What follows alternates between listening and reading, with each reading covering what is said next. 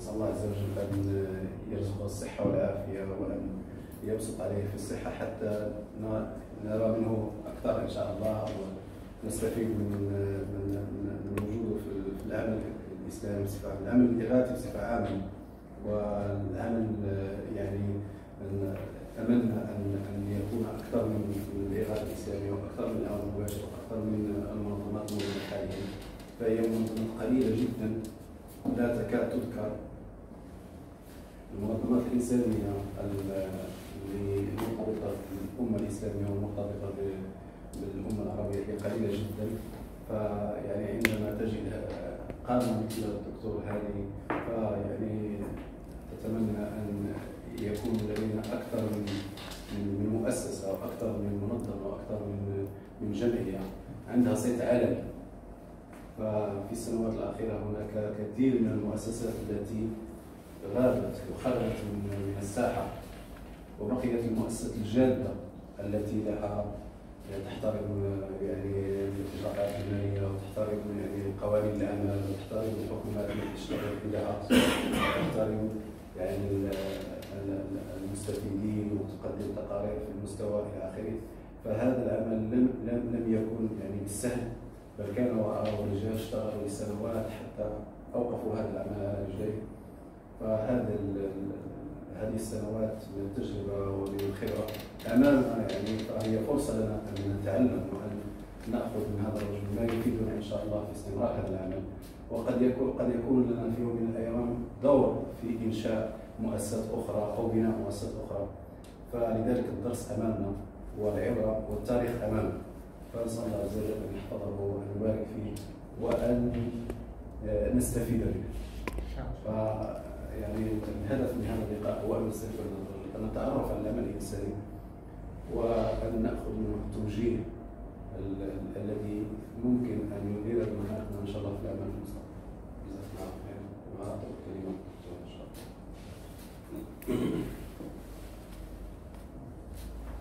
الحمد لله والصلاة والسلام على رسول الله أنا سعيد جدا أنا موجود ما بين مؤسستين يعتبروا من رواد العمل الإنساني في العالم. كانت آه، العون المباشر هو رواد العمل الإنساني في أفريقيا. ولكن لكم مكتب في اليمن دلوقتي مكتب متميز جدا جدا جدا جدا. بترقصه الاخت معالي العسوسي. المفروض إنك تجيبها هنا مرة. إن شاء الله. تقول لك إزاي كانت عايشة في وسط الصواريخ. صحيت من مرة من المرات كده آه، لقت في صاروخ في أوضة النوم. الحرب الأخيرة ما بين الرئيس علي عبد الله صالح قبل ما يتوفى ومجموعات الحرب. فدي تعتبر إذا جات لكم هنا تعتبر فتح كبير جدا وهي في اليمن بقى 12 سنة. أهم من ب 100 مرة. فده إيه؟ يعتبر من الشموس بتاعة العمل المباشر كان ليا علاقة شخصية جدا بالدكتور عبد الرحمن بن سميت رحمة الله عليه. هو سبقنا وإحنا مشينا وراه. وكلنا مدارس مختلفة لكن كلنا بنصب في نفس الطريق. وكاننا نهر النيل. نهر النيل يأتي من كينيا ويأتي من أوغندا ويأتي من أثيوبيا ويأتي من رواندا إلى آخره. ثمان بلاد مش كده؟ إلى أن يصب في المسار بتاعه اللي هو السودان وبعدين على مصر وبعدين على البحر الأبيض المتوسط. لكن إحنا يعني الدكتور عبد الرحمن سيف مسيرة وإحنا بنكمل بعدين. مسيرة العمل الإنساني ليس لها ثقافة معينة ولا فكرة معينة ولا مذهب معين ولا جنسية معينة ولا عرقية معينة آه، ولا تاريخ معين هي من بدأ التاريخ إلى أن يرث الله سبحانه وتعالى الأرض ومن عليها. العمل الإنساني الآن أصبح مؤسسي الشغل القديم بتاعنا كده يعني معلش مفيش تقارير آه، مفيش آه، آه، مراجعة مالية مفيش مراجعة تقييمية مفيش قياس للأثر ده انتهى. لأمرين أو لأكثر من أمر. الأمر الأول إن إن كثرة المؤسسات اللي أفسدت العمل. كثرة المؤسسات اللي أفسدت العمل فأصبح المتبرع دلوقتي أو المانح يخشى أن يعطي أموال لأحد نمرة اثنين إن المشاكل كترت كثيرة وأصبح المتبرع غير قادر على مواكبة حاجة الناس. فبيشوف من هو الأجود نمرة ثلاثة قوانين مكافحة الإرهاب وغسيل الأموال. اللي أصبحت تقيد كل إنسان في العالم وليس فقط العمل الإنساني أضعف المؤسسات التي تؤثر عليها آه، قوانين الإرهاب هي المؤسسات الإنسانية. وأنها هي المطية. لكنها تقيد كل التحويلات المالية في العالم. ثلاثة الأمر الرابع اللي هو عدد المؤسسات الكثيرة اللي نشأوا وإحنا مش عارفين هم مين. الأمر الخامس السوشيال ميديا اللي هو التواصل الاجتماعي والمنصات اللي ممكن تعرض تجمل القبيح وتحسن الوحش وتستر على العيوب. الأمر السادس نسبة الشباب في مجتمعاتنا. اللي هم سريع الطلقات التبرع إلى آخره يعني. ميزة من ميز العون المباشر إن هو في في الحملات بتاعتهم بتاعت اللي هي على ال social media أو على التواصل الاجتماعي هم أقوياء جدا بس إحنا برضك عايزين نكون أقوياء في الميدان واضح؟ لو شفت الخمس أو ست أشياء دول بتجعل مننا آه، بشر لا ينام خطبة الجمعة جميلة لكنها ليست كافية. الموعظة جميلة لكنها ليست كافية. حضرتك التذكرة جميلة لكنها ليست كافية. حفظ القرآن جميل ولكنه ليس كافي. حفظ الأحاديث جميل ولكنها ليس كافي الكافي إنها أطبق. إن أنا أحول الحديث والآية والخطبة والموعظة إلى عمل. وده أكتر تحدي لينا. أضرب مثل. أحد أصدقائنا من التجار الكبار كان بيصرف في خلال العشرين سنة اللي فاتوا أمواله على المدارس الدينية. اتخرج لأن بعد 20 سنة أولاده بقى لما جم يرثوا المؤسسة منه وده كان آه، كانت هي زي ما تقول مؤسسة عائلية مؤسسة عائلة يعني مالهم الخاص لما جم يقيموا خريجي المدارس اللي كانوا يخرجوا من المدارس اللي بياكلها أبيه لقوا إنها آه، آه، رواتبهم في السوق أقل من الرواتب العادية والحكومة ما بتاخدهمش. إنهم بينتجوا ناس السوق مش عايزهم. المجتمع مش محتاجها. فالعملية مش بالعدد. العملية ليست بالعدد. إذا كان في تعليم السوق البلد محتاج إيه؟ هل محتاج زراعيين؟ هل محتاج بتوع كمبيوتر؟ هل محتاج إداريين؟ هل محتاج سياسيين؟ هل محتاج إعلاميين؟ هل محتاج إيه محتاج؟ مش مجرد إن أنا بجيب الشخص أحفظه القرآن والسنة وأفرح طب كويس وبعدين هيشتغل إزاي؟ عندنا عشرين ألف حافظ للقرآن. كويس ممتاز. وبعدين؟ عندنا مئة ألف حافظ للقرآن. وبعدين؟ إيه المهنة اللي هيستطيع يتكسب منها؟ آه، رزقه إلى آخره. كان هيكون فلاح هيكون تاجر هيكون ميكانيكي هيكون مدرس هيكون طبيب هيكون أستاذ في الجامعة هيكون محاضر هيكون فنان هيكون هيكون هيكون أو هتكون سواء كان رجل أو امرأة. فهو إحنا بنعلم الدين يعني إيه؟ الواحد دايما بيطلب حاجة من ربنا اللهم ارزقني العلم علمين علم الشرعي والعلم الدنيوي. العلم الدنيوي أنا بقيم به أركان الحياة اللي إحنا عايشين فيها. من زراعة لتجارة لتسويق لتعليم لسياسه كل أشياء الاعلام كل أشياء دي. والعلم اللي هو ال- ال- ال- الديني ده بي- بي- بينقيني من الداخل. أو بيبني شخصيتي من الداخل. يعني كأننا عندنا حاجتين بناء داخلي وبناء خارجي. أنا مكلف بأبني بناءين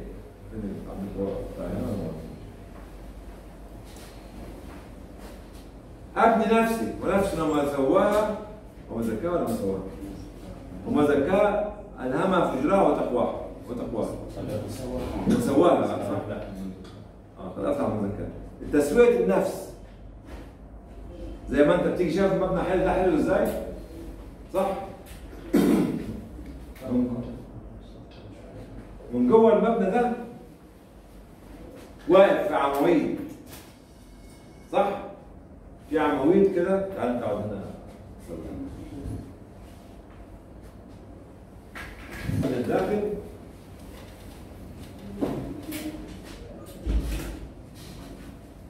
انت بتتكلم تسوية النفس فالدين بيساوي نفسه خلاص؟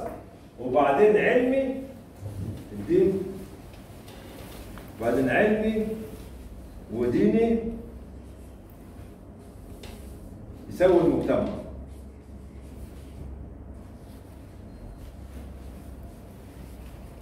لأن الدين أنا باخده معايا أصلي وأصوم. واذكر ربنا سبحانه وتعالى خلاص. لو لم يتحول هذا إلى أخلاق مجتمعية إلى سلوك مجتمعي أنا ما عملتش حاجة. فأنا أعلم الدين علشان أحوله لأخلاق. تستطيع أن تتحكم في صاحب المهنة. صاحب المهنة. وزي ما الرسول صلى الله عليه وسلم كان يسألوه آه، آه، أوحي أوحي إليك يا رسول الله صلى الله عليه وسلم؟ أو هو الرأي والمشورة صح؟ نعم. وحي يوحى إليك في في التلقيح بتاع التمر. وفي توزيع التمر على ال ال ال ال اليهود وغير اليهود وفي البير بتاع بدر. ها ده سألوه قال لهم لا مش مش مش واحد خلاص. دي لينا إحنا لمين؟ لأهل الذكر. فاسألوا أهل إيه؟ أهل الذكر. أهل الذكر مش هم فقط أهل الدين. أهل الذكر معناها أهل كل مهنة وحرفة فلولا نفر من كل فرقة طائفة يتفقهوا فلولا نفر ها النفر من الفزع. النفر من إيه؟ من الفزع ها هب. من كل فرقة عنده انت فرقة؟ في الفرقة دي فيها مثلا 15 واحد. أو 100 واحد أو 1000 واحد. فلو أن نفر من كل فرقة طائفة. طائفة المهندسين طائفة الزراعيين طائفة الفلاحين طائفة رعاة البقر طائفة الدكاترة طائفة كذا طائفة كذا طائفة كذا. يبقى الهبة والفزعة لينا كلنا. لكن في كل فرقة في طائفة متخصصة. فلا بد يكون تخصصنا مبني على قيم مجتمعية أخلاقية منبثقة من الدين. تحكمنا منين؟ من الداخل. تحكمنا منين؟ من الداخل. دي قاعدة مهمة جدا إننا نعرفها عشان نستطيع إن نسير بها في العمل الإنساني بالذات إن العمل الإنساني بيجعلنا إن نتعامل مع أضعف فئات المجتمع. النساء بالذات. اللاجئات بالذات المغتصبات بالذات الأرامل بالذات الثكلة من النساء بالذات والمرأة الضعيفة خطيرة لأنها سهل جدا إن الإنسان يغويها. وده اللي حاصل. في كل مكان كان في مين اللي قال لنا إحنا في وين. هنا ولا؟ في احد المخيمات آه أعتقد هنا هو. في احد المخيمات آه، هنا في- من السودان إن عدد فاكر المصدر النجيب إن لقوا في 200 آه، 200 ولا كم؟ حاجة 200 يعني عدد أطفال. الحوامل الأطفال أكثر من الذكور الموجودين في المخيم فرد اللي هو المحافظ قال له أيوه نعم إن إحنا نعرف إن عمال الاغاثه هم الأباء غير الشرعيين هؤلاء الإيه؟ الأطفال. لا اعرف في كام 50 ولا 100 رجل والأطفال 200 رجل كمان 200 طفل. شفت قد إيه؟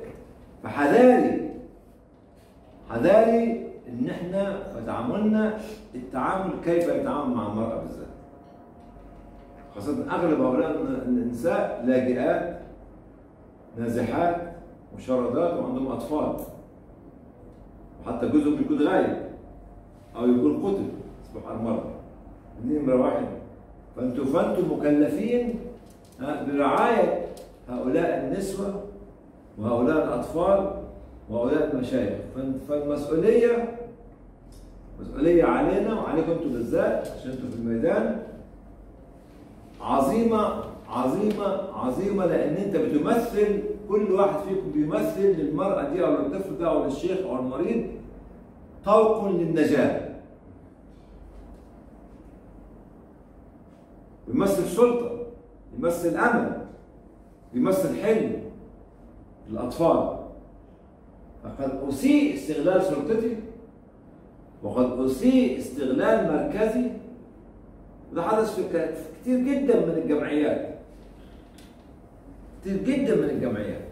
ليس فقط في أفريقيا حتى في أوروبا كذلك. يعني فانتم مسؤولين عن هذه الكتل البشرية. أنتم اصحاب رسالة. أنتم اصحاب إيه؟ رسالة. فحذاري أن تبلغوا الرسالة. أنتم اصحاب مهمه حذاري الا تنجزوا المهمه أنتم اصحاب قيمة. حذاري أن لا تطبقوا قيم قيمكم في مجتمعكم. صاحب القيمة كده طبقها على طول في المجتمع. فلذلك زي ما إحنا قلنا إن العمل الانساني اصبح معقد الآن ومراقب من كل جهة في العالم فإحنا نكون حذرين فيما نقوم به وما نقوم وما نقوله حتى. لأن انتقلنا من مرحلة الدروشة مرحلة يعني طيبين وكذا وكذا إلى مرحلة الإسلاموفوبيا. يعني في نهاية الحرب ال- الباردة ما بين المعسكر الشرقي اللي هو الاتحاد السوفيتي والمعسكر الغربي اللي هو أمريكا وأوروبا. آه، كنت أنا أفتكر مؤتمر في أوسلو في النرويج. أنا قلتها مرة قبل كده آه، مش في النرويج يعني كانت كلمة غلط كده. في أوسلو كانت Mrs تاتشر والرئيس ريجن قاعدين بيتكلموا. كان دايما بيقولوا الشرق والغرب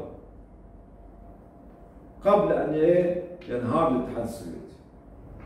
بعد حرب أفغانستان وانهيار الاتحاد السوفيتي وهزيمة الاتحاد السوفيتي وتفكك الاتحاد السوفيتي إلى دول أصبح يقول الشمال والجنوب. الشمال في أوروبا والجنوب في أفريقيا وآسيا اللي هم غالبيتها مسلمين. فالاسلاموفوبيا بدأ يعلن عنها رسميا منذ منتصف الثمانينات. وهي الان في قمتها. ويغلب الإسلاموفوبيا إيه؟ الإرهاب المصطنع والجماعات المدعومة من جهات مشبوهة وتأتي لتفتت إيه؟ المجتمعات. فحذاري حذاري حذاري حذاري حذاري. هذه المقدمة. أنا ممكن أكمل الكلام كمحاضرة أو أكمله كأسئلة أحسن. شباب أسئلة أحسن؟ عشان تفهموا كده وكل واحد يسأل سؤال؟ اثنين مواد طب يلا. نبدأ بأول سؤال. أنا هرد على كل سؤال. إن شاء الله. اتفضل أول سؤال. أنا جيت لكم من بلاد بعيدة. جيت عشان أشتغل مش جيت عشان أقعد في البيت. ها؟ اتفضلوا أنا أنا أفتتح يعني. أفتتح الجلسة؟ اتفضل. نعم. مفيش حد هيمشي من غير ما يسأل. أنا قاعد هنا مفيش لا غدا ولا عشاء ولا أي حاجة. قاعد هنا. ما هوش حاجة بقى. لو عايز زوجة ولا أولاد ولا وأنا قاعد لكم. النهارده بسم الله الرحمن الرحيم والكرام أولا مرحبا بكم في هذا في هذا اللقاء وهو لقاء استثنائي ونادر فأظن يعني من 2007 يعني زار تشاد في 2007 يعني بين 2007 و 2019 كم؟ 12 سنه 12 سنه يعني الفرصة دي لا ندري متى يمكن أن ان أن تعاد أو فلذلك ونحن أمام هرم هرم من بس مكتوب لا هرم هرم عظيم يعني من ال- العمل الإنساني وهو فخر للأمة الإسلامية. الدكتور هاني البنا هو فخر للأمة العربية والاسلاميه والإنسانية. الحمد لله. فلذلك الاخوه يعني نستغل الفرصة نستفيد قدر الإمكان. يعني يعني الماكسيموم. دكتور هاني أنا السؤال اللي عندي وكنت وجهه لنا جميعا إحنا بالنسبة لنا جمعيه المباشر كيف هي تميز عن باقي المنظمات الإنسانية وهو أن آه، تقريبا أكثر من 80% من شغلنا هو ثابت ومرتب يعني في المراكز يعني تعاملنا بالدرجة الأولى مع أيتام آه، أيتام ومستضعفين أو يعني مستفيدين ثابتين يعني في أحياء في مدن في كذا. فتدخلنا في مسألة اللاجئين وفي مسألة أزمات إنسانية يعني هو يعني قليل يعني ليس فهذه الفئة فئة الأيتام وفئة الطلاب يعني آه، الرعاية الاجتماعية وال- والتعليمية هذه يعني نحن لحد الآن يعني نبحث عن يعني عن أهداف كبرى كيف نحققها. يعني نحن نشتغل الآن آه، كما قلت من قبل يعني لا زال شوية عندنا آه، رواسب من من القديم يعني بالبركة. يعني فكيف نشتغل من منطق العمل بالبركة؟ والله والحمد لله وخرجنا كذا وخرجنا كذا والله الايتام عندنا جيدين كذا. إلى إلى عمل يعني آه، يعني بأهداف بأرقام بخطط يعني خطة يعني خماسية. يعني أنا في الأيتام مثلا هذه السنة ماذا أريد من الأيتام بعد خمس سنوات؟ وماذا أريد من المدارس؟ يعني أحنا نحاول أن نكيف تفكيرنا على على هذه الطريقة. لو تفيدنا جزاك الله خير. أنا سبقتكم رأيت ما تعدون يعني الأسئلة أكثر يعني. طيب الحمد لله والصلاة والسلام على رسول الله. طبعا الكلام اللي بيقوله بسم الله ما شاء الله كلام مهم جدا. الناس بيشتغلوا على أرض المجتمع على أرض الواقع.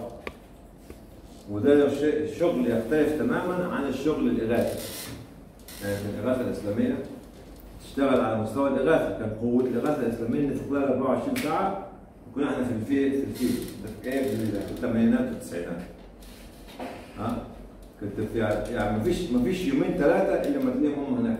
تميزوا كده. أنتوا تتميزوا بإنكم تبنوا النسيج المجتمعي من تحت. النسيج المجتمعي مش سهل. ابدا. بل صعب. إن كل طفل من الأطفال بتوعي دول مشروع لوحده. لكن كيف تجعل المشروع ده اللي هو بذرة تحوله إلى غابة مليئة بالمواهب يبقى لابد إنك تختار الأرض الصالحة والبذرة الصالحة والمناخ الصالح والفلاحين الصالحين. ولابد إنك تقيم أعمالك على أوقاف.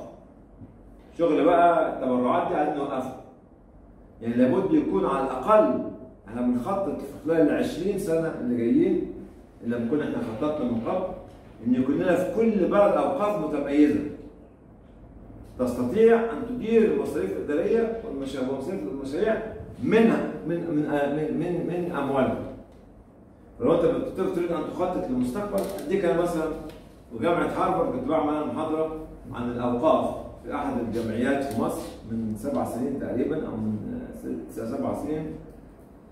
كان وقف ال- الفاونديشن بتاعت هارفارد 40 مليار دولار. قيمته 40 مليار دولار. ده من حوالي من سبع سنين. ده بحد ذاته لو أقل عائد فيه هيستطيع إن ينتج لو لو مثلا جامعه زي هارفارد أو غيرها حبت تعمل فيلم. فيلم من هوليوود.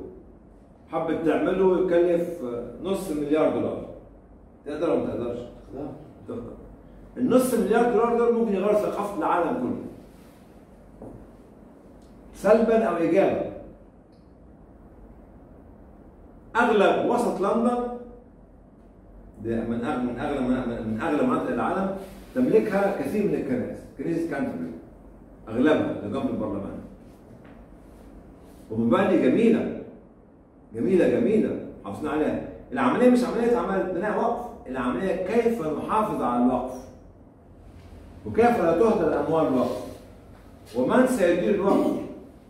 شربتلي وحربتلي ما ينفعش. عارفين شربتلي وحربتلي يعني إيه؟ الاخ طيب. خليه يدير الوقف لا هيفشله شكرا مش عايزك. استأجره يا أخي.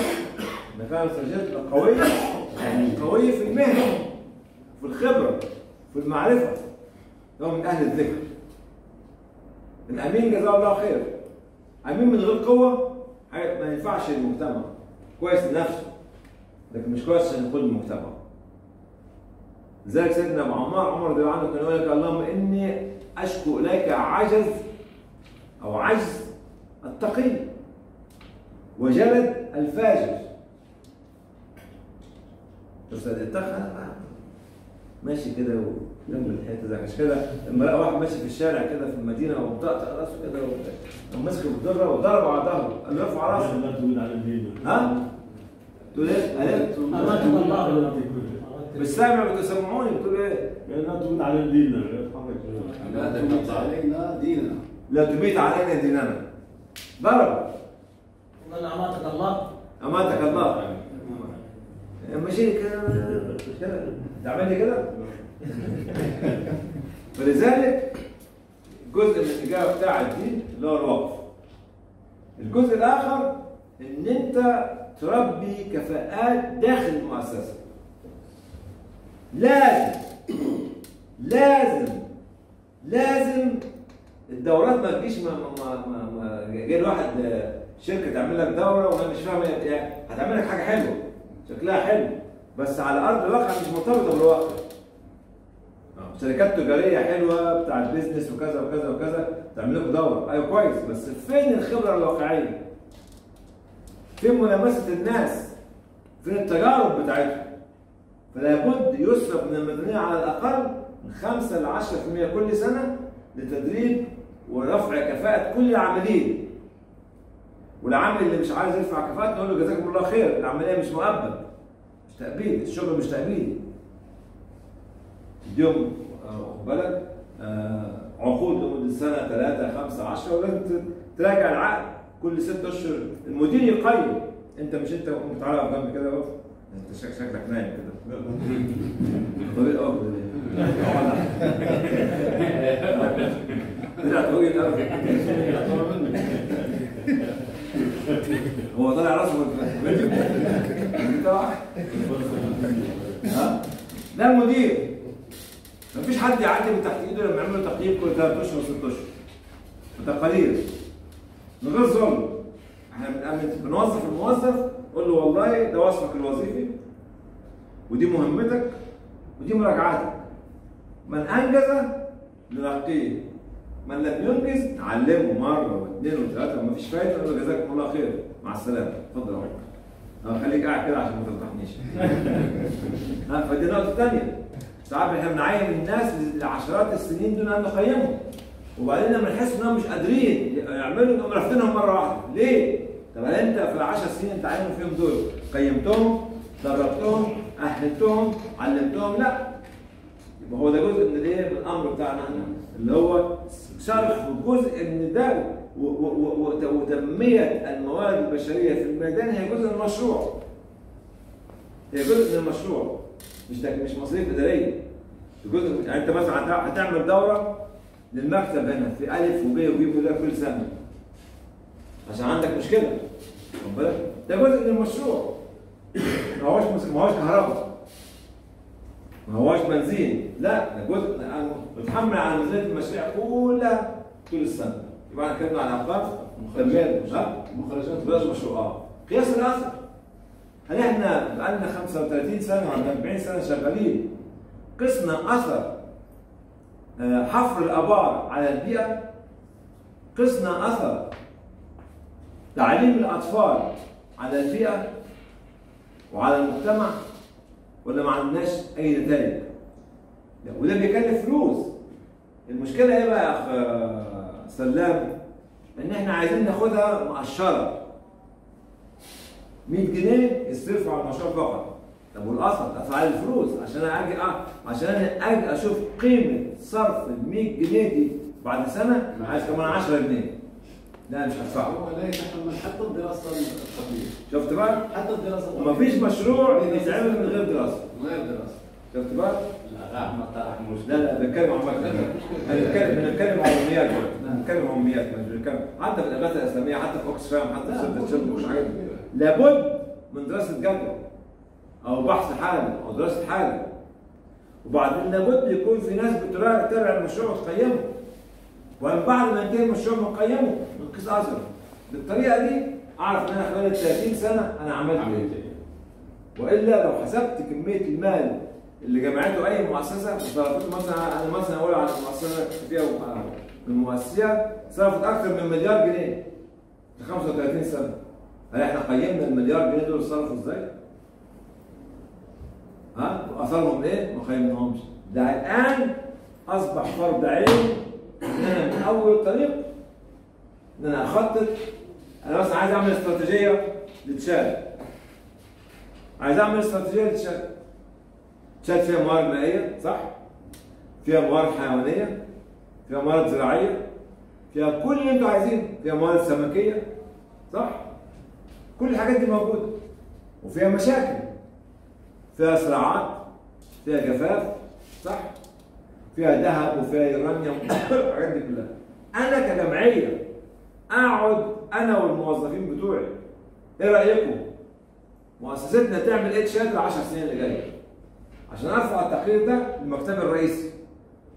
مؤسستنا يكون دورها إيه في أفريقيا في ال 10 سنين الجايه عشان أرفع التصور ده في المكتب الرئيسي. التصور الاستراتيجي ما ينفعش يجي من فوق لتحت. ابدا. مدرسة. أنا بقول على جثتي.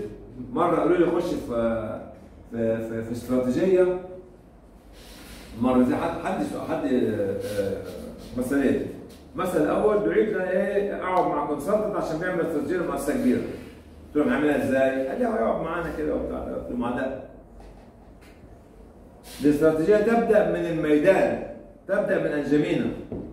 تبدأ مش من أنجمينا تبدأ من بحيره شاد قبل ما توصل لأنجمينا. أشوف الناس اللي هناك عايزين إيه؟ هم اللي يحطوا اسمها إيه؟ آه، النقاط النقاط لا، النقاط ال- الأستراتيجية بيسموها إيه؟ مش مش point of discussion أو حاجة زي كده مش فاهم يعني strategic ال- لا آه لا لا قبل ال strategic observation بنحط المعايير. معايير الاستراتيجية. مين اللي بيحطها؟ الفلاح. اللي أنا بخلي مكتبي اللي في شرق السود اللي في شرق اللي في شرق شاد بيقعد معاهم وتجيب الورقه دي من هناك عشان يحطها هنا أهو. قبل ما تطلع للكويت ولا البحرين ولا كذا ولا كذا ولا كذا. ده لأن مين حي... مين يعرف الواقع؟ مش أنا وأنا قاعد في لندن مش أنا وأنا قاعد في باريس. أنتوا اللي عارفينه. فبالتالي رفضت. الثانية كان بقى أسوأ من كده. لأن دي كان مؤسسه الغرب. رفضتها. كان مؤسسه في الشرق. بعت بعد ما كنا عاملين اجتماع مجلس إدارة في المقر الرئيسي. تعرف بقى إيه؟ بعدها بأسبوعين كده الأخ المسؤول عن الاستراتيجية بعت لنا إيه؟ آه، أسئلة واجوبه يعني زي ما بتقول إيه؟ صح وغلط. زي سوالف اناليسيس فرديت عليهم كده قلت لهم شوفوا إحنا اولا خبره أقل واحد فينا أكتر بكتير جدا من البني آدم اللي أنتم عاينينه ده. ولو أنتم عاملين بني آدم مش عارف معنى استراتيجيه إيه أنا مش مش هشترك في الاستراتيجية. في الاستراتيجيه بعد ما تجيب ناس قاعدين عندك اقعد معاهم اتكلم معاهم وكذا تقول لي صح وغلط؟ جبت حتة كده طلعتها من من من صفحة من الصفحات على الويكيبيديا ولا على الفيسبوك ولا كذا وكذا وكذا وانت مبعتها لايه؟ للامناء يبقى انت يبقى انت ما تفهمش. وده بالنسبة للسؤال. حد تاني يا شباب؟ اتفضلوا إن أنا جاي عشان تسالوا أنا بطلت عايز ابطل كلام اتفضل انت لا اتفضل بيسجل آه طيب بسم الله الرحمن الرحيم والصلاة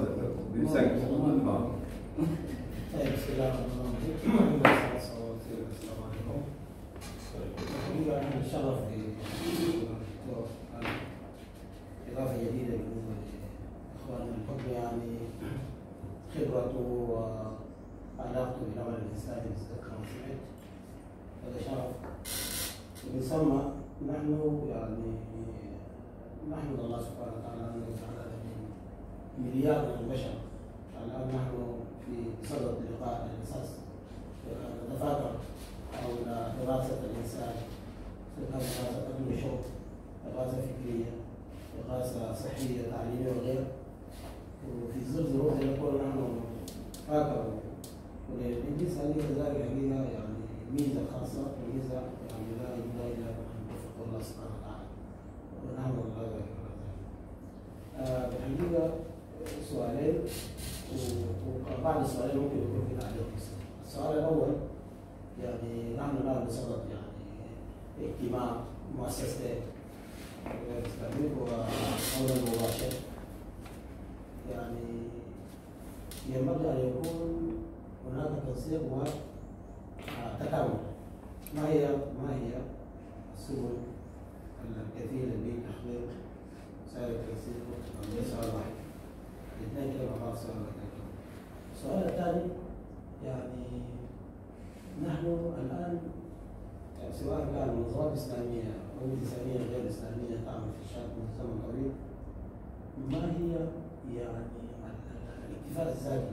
ما هي يعني مظاهر الاكتفاء الذاتي بأن هذا المجتمع في غيره وغيره من الدول يكون تصل لمستوى اكتفاء ذاتي سواء كان في مسائل البنية التحتية تعليم وغير ذلك.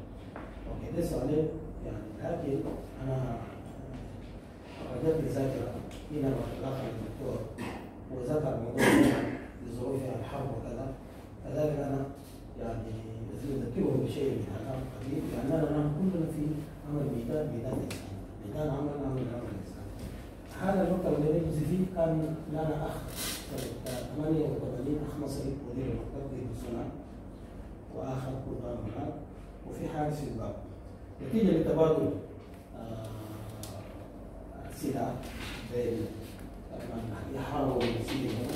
حصل تبادل النيران. فجاءت الطلقة من من الزاوية هذه.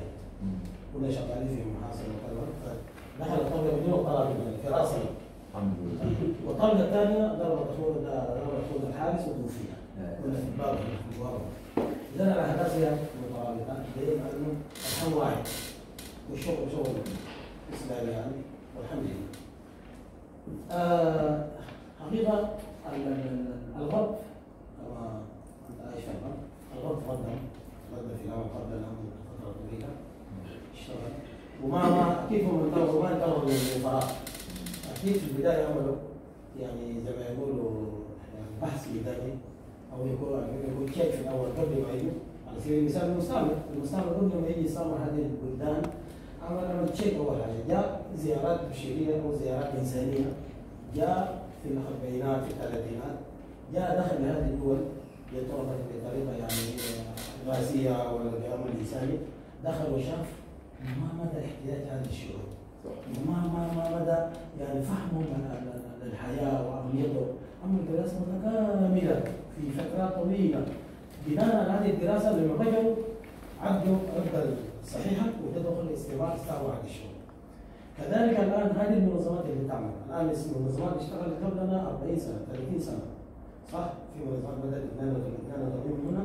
في منظمات الضمير الأول المباشر بدأ في ملاوي 82 سنه. كان ده بدايه النقطه الدكتور رحمه الله بدأ في ملاوي وبدأ. هنا في شاد فتح 85 والدول الثانية كانت 84 85 86 اذا الدول دي دول السابقه الغرب بالذات اشتغلت قبلنا ووضع معايير للشغل من ذاك الوقت. وضع معايير ولا شغل. بناء على هذه الشروط وإذا دخل ويحمي يحمي شغل بالمعايير وبال. ال- ال- ال- ال- ال- ال- المنظمات الإسلامية صحيح زي ما أنتم قلتوا بالعافية والسلامه اشتغلت. ونحن لدينا يعني اجراءات أو لدينا تعريف ان هذه الدول اللي اشتغلت ب- بمسميات أو مسميات اقسام أو معارف. إيقاع، كل المنظمات اللي أنا شغاله هذه إذا أنت جيت عملت البحث صحيح دقيق هل هذه المعونة اللي جاية تصل للشخص مباشره 100% نقول لا. غالبا يصل 60 30% أو 40% الباقي يذهب لأشياء يعني منصوص موجودة في تقارير إذا يعني نحن هذه التجربة اللي الآن جريتها المباشر له الآن أكثر من 34 سنة. عندهم هنا الجريده الاسلاميه تدريب 12 أو 13 سنه أخرى منظمات علميه اشتغلت فيها يعني أنا دارين ما مستوى أو ما ما ما في اثر أثر. إذا كان هناك في عمل تنسيق وتكامل بعض وفي كان أثر ذاتي أكيد بيكون في الأثر مباشر على طول. لكن نحن نا- يعني نأخذ التجارب هذه ما يكون دارين آخر 10 سنة قدام ثاني نرجع للمرحلة. طيب هو أنت اتكلمت في كذا مشكلة حضرتك آه، المعايير آه، هل أنا سؤال هل أنتوا عندكم أرشيف؟ هل إحنا عندنا أرشيف؟ أرشيف معناه إيه؟ معناه سنة آه، 85 كان في كذا سنة 90 كان في كذا وهكذا هل عندنا عندنا ده؟ موجود لكن ضعيف المهم إنه موجود موجود أنا بقى اللي أنا عايز أحول الأرشيف ده إلى شيء مفعل. واطلع منه الخبرة اللي ممكن تخليك تعمل معايير زي المعايير اللي هم عملوها برضه. لأن أنت عندك خبرة صح؟ وعندك المعلومة وعندك ال ال ال ال ال التاريخ بتاعك التاريخ بتاع اللي حواليك. هل الأرشيف اللي عندنا ده بيتكلم فقط عن مشاريعنا ولا بيتكلم عن حالة المجتمع اللي إحنا بنعيش فيه؟ فلما إحنا بنعمل دراسة الدراسة لابد تكون تلمس المجتمع في كافه جوانبه المع- المعوقات والمحفزات في المجتمع.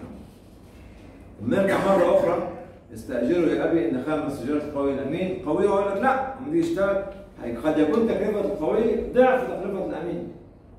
بس إحنا مش عايزين نجيب واحد يكلفنا غالي. اللي هو السلم المرتبات اللي مش عارف كذا اللي مش كذا اللي مش كذا اللي مش كذا اللي مش كذا. أنا ممكن أجيب الشخص أو المرأة اللي تكلفنا المكلفه غالية دي مع 10 سنة ولا سنتين ولا ثلاثة تتعلم كل اللي موجودين في الآية في المؤسسة. وبعد تستغنى عنه. يبقى ده استثمار. زي ما هنشوف مثلا مين فيكم بيتفرج على الكورة؟ بتشجع مين؟ ريال مدريد طيب كويس إيه؟ برشلونة. طيب. وانت؟ برشلونة. طيب وانت؟ مدريد. مدريد. مدريدين. شجع الحارس؟ شجع الحارس. هذا برشلونة. هذا وانت؟ برشلونة.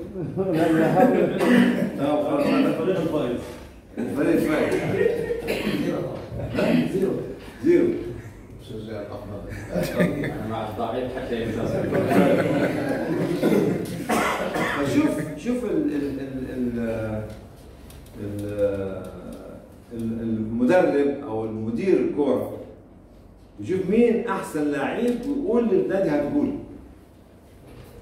لأن ممكن يكون اللاعب ده مش هيلعب في ماتش إلا خمس دقائق لو هجيب فيهم جون أو جونين. عشان حاجة تانية؟ خدت بالك؟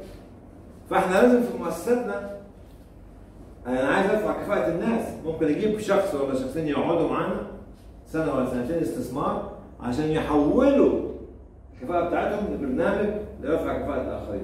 ده بالنسبة لإيه؟ للمعايير. محدش هيكتب معايير لأنه كتب يعني المعايير دي بتطلع بعد المعلومه ما تجيلك بتنقحها وتك classification يعني إيه؟ ترتبها. وتصنفها وكذا وبعدين تدرسها. أسهل حاجة تجمع المعلومة. أصعب حاجة تدير المعلومة. لذلك هتلاقوا جوجل وفيسبوك ومين تاني؟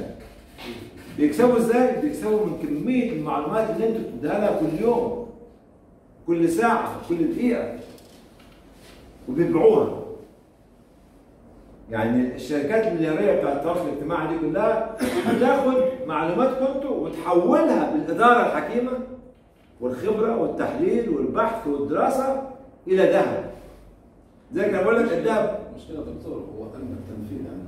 هو كثير أنا مش بختلف معاك لسه حاجة حاجة التنفيذ ياخذ أكثر من حاجة يعني. حاجة حاجة دي حاجة دي بعد كده. أقل.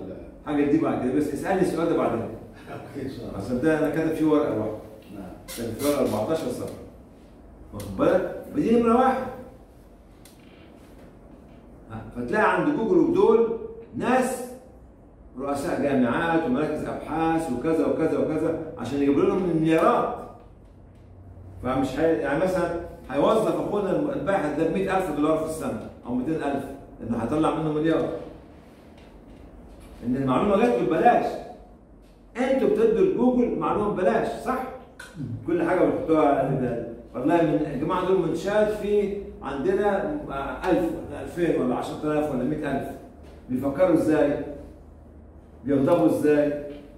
مشاكلهم إيه؟ أنت مديها له فهو جايب الأخ ده شوف بقى مرتبك كام؟ 50 ده هديك 100 هيموت نفسه عشان إيه؟ يحلل الأرقام. بعد كده هيطلع النتيجه يديها لواحد تاني.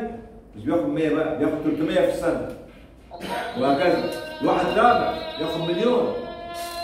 لأن من 100000 300000 للمليون. هو بيطلع كام مليار؟ من من المعلومات اللي أنت اديتها له ببلاش.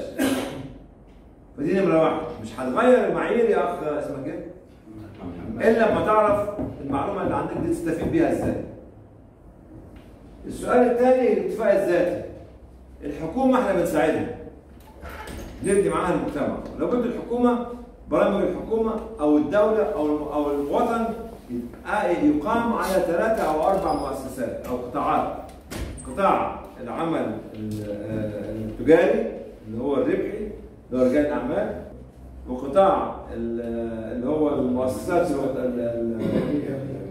لا أنا بتكلم على اللي هم مش داخل الحكومة. يعني في الجفرمنت وفي البيزنس وفي اللي هو ال- ال- المجتمع المدني. المجتمع المدني. ثلاث دول. كأنهم ثلاث آه، ركائز للوطن. في بقى عندنا في المنطقة العربية ركيزة رابعة اللي هو الأكاديميين والبحوث. إنها مش موجودة وضعيفة جدا ومغيبة. فحطيت أنا الرجل الرابعة دي عشان يبقى الترابيزة باربع ترابيزة الوطن أو طاولة الوطن بأربع أرجل مش بثلاث ارجل فدول اللي هيكملوا الاكتفاء الاكتفاء الذاتي. الاكتفاء الذاتي معناه إيه يا أخ؟ حماد. يا أخ حماد إن كل مواطن يكون قادر على الكسب وعنده وظيفة يتكسب منها. إنتاج. بغض بغض النظر الوظيفة دي في بيته أو في الحكومة أو في أي حتة ثانية عنده دخل ده الاكتفاء الذاتي. كل مواطن عنده دخل يومي. بغض النظر بقى الدخل ده في واحد اجتهد بقى الدخل اليومي بتاعه مليون واحد اجتهد بقى الدخل بتاعه مثلا 50000 أو 5000 إلى آخره. ده الاكتفاء الذاتي. بس تتكاتف فيه الاربعه أرجل بتوع الطاوله دول اللي هو الاكاديميا الأبحاث والحكومة ومؤسساتها والقطاع المدني والقطاع الايه اللي هو ال- ال- ال- ال- التجاري خلاص؟ ده عشان نعمل اكتفاء ذاتي. وده بياخد سنين. بيخش معاه في النص حاجة اللي هو الفساد. كل واحد في الأربعة دول لابد يكون في منظومة عمله أطر لمحاربة الفساد. أطر أنا كنت سعيد جدا لما سمعت إن رئيس الجمهورية هنا عمل لجنة أو إدارة لمحاربة الفساد. إن إزاي دوله بسم الله ما شاء الله 1.8 من 10 مليار كيلو متر مربع ومش قعدوا يعدوا الغنم وال- وال- وال- والأبقار وال... قلت الله ده أنا هاجي أشتغل في الغنم هنا. يعني عندكم 120 مليون ولا حاجة 20 مليون راس غنم وعندكم حاجة 40 مليون راس إبل وعندكم حاجة و70 مليون راس بقر ومش عارف والماعز حاجة و60 ولا حاجة 50 مليون. دول لوحدهم؟ ثروه شوفوا أنت مثلا ادرس بلد زي هولندا. ونيوزيلندا. وشوفوا عدد رؤوس الأغنام اللي هناك والابقار قد إيه. وشوف قوة هولندا في الإنتاج وقوه تشاد في الإنتاج. الفرق بين هنا وهناك إيه؟ هي الإدارة اللي عملها الرئيس اللي هي بتاعت محاربه الفساد. والفساد أصبح مش سرقه لا الفساد أصبح نظام. يعني جزء من الفساد إيه؟ إن أنا بروح الشغل أقعد أتكلم مع أصحابي ما أشتغلش. ده فساد. أنا سرقت؟ لا ما سرقتش.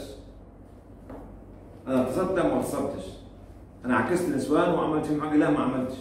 بس أنا قاعد انتاجي اليومي المفروض يكون سبع ساعات أو ثمان ساعات. أصبح انتاجي اليومي نص ساعة أو ثلث ساعة أو ساعة أو ساعة. حرام. دي فيها حرمانية شرعية حرمانية مجتمعية.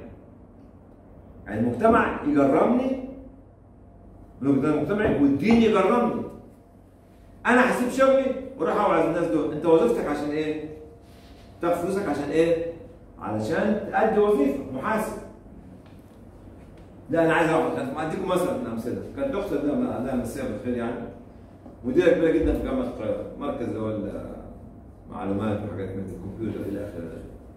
فكان في واحد من العمال هناك كل يوم عند صلاة الظهر يجيب ثلاث ساعات. الله. ثلاث ساعات. ثلاث ساعات. فتلاقي قبل صلاة الظهر مش موجود. الصلاه مش موجود بقى. فقالت له انت لي بروح أصلي في الجامع. قلت له بقول لك إيه؟ صلي هنا مفيش خروج. اتضح بعد كده ان هو كان نجار بيروح يقضي شغل ويرجع تاني. هو بياخد فلوس مش عشان إيه؟ مش عشان هو نجار أو يصلي. يعني مثلا كنت أنا مثلا في بنما وطلب من الناس مني إن أنا أبعت لهم مدرسين. بعتنا لهم مدرسين. عشان يعملوا الاولاد ففي أحد المدرسين دول كان بيقيم الليل.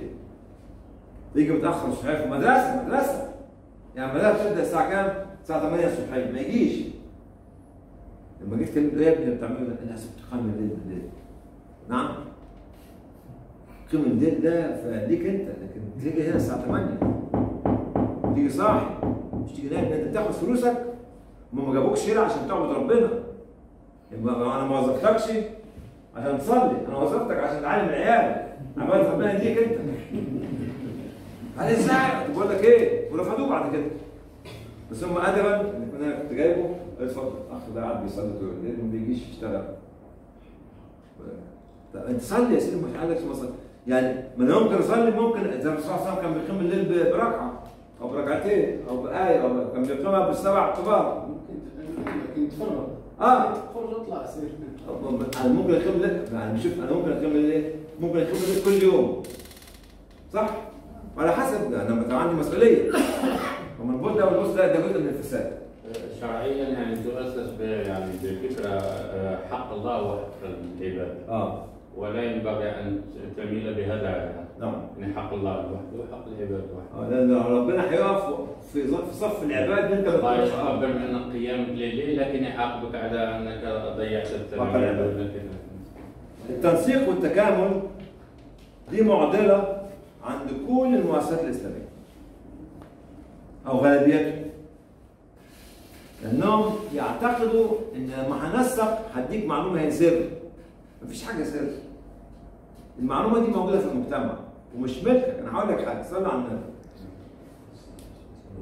كل قرش بيخش المؤسسة هو مش ملك المؤسسة. هو ملك الفقير اللي من اجله المتبرع تبرع المؤسسة. وما أنت إلا حافظ الماده إلى أن توصله للفقير. واضحة؟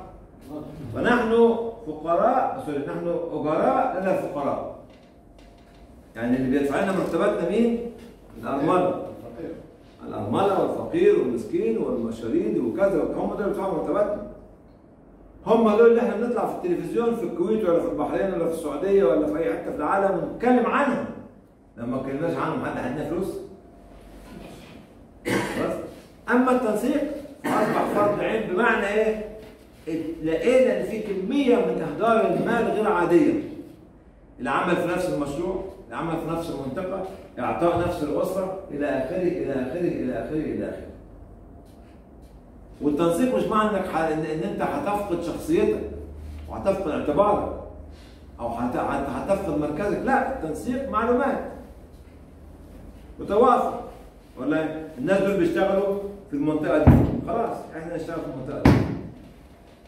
في كارثة حصلت هنا. هو في مكتب ليهم. طيب خلاص إحنا هنديهم هم يشتغلوا بدل إحنا نروح نعمل مكتب تاني. والبلد كبيرة. يعني أنت بتيجي تبص لي تشاد بالله عليك. ده كان ساعتها 1000 و... آه، أو مليون و8 من 10 كيلومتر مربع. خلاص يعني في مؤسسة هتغطي الأرض دي كلها.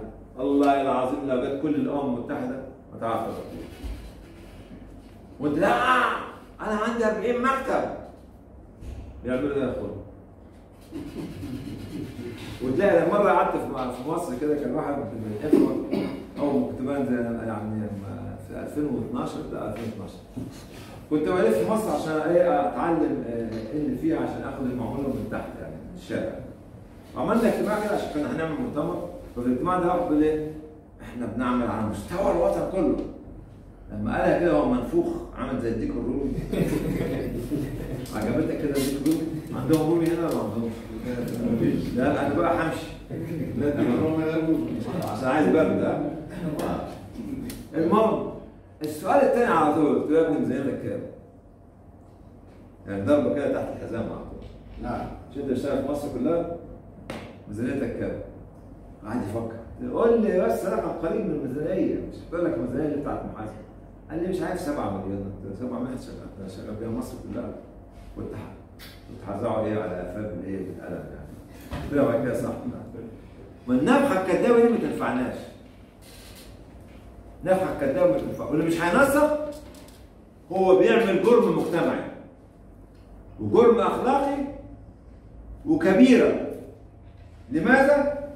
لأن الكبيرة دي كانك انت بتظلم المجتمع من مال المجتمع اللي بيهدر في مكان ولا يصل لمكان آخر. رديت عليك يا ريس؟ طب انت بالنسبة للاتفاق ما زال. مكتوب زي ما قلت في الأول. أربع أربع أربع أربع أربع اعمده تحارب في الاربعه يحاربوا الفساد. من غير محاربه الفساد لن يكون في اكتفاء ذاتي وأنا بقول لك إيه أنا دلوقتي بقول لك بعد بعد الجلسة أو أنا لو أنتوا عندكم إنترنت هنا واحد يطلع يطلع لي عدد رؤوس الأبقار في نيوزيلندا وفي دي وفي لا سيبك من شارع عارفينه في نيوزيلندا وفي هولندا. الأبقار والأغنام بس. دول. وعدد رؤوس الأغنام وال- وال- والإبل في استراليا. هتلاقي إن أنتوا ثروتكم قدهم. طلع طلع يا سلام. أنا والله لقيت النهارده مفيش مروحة النهارده.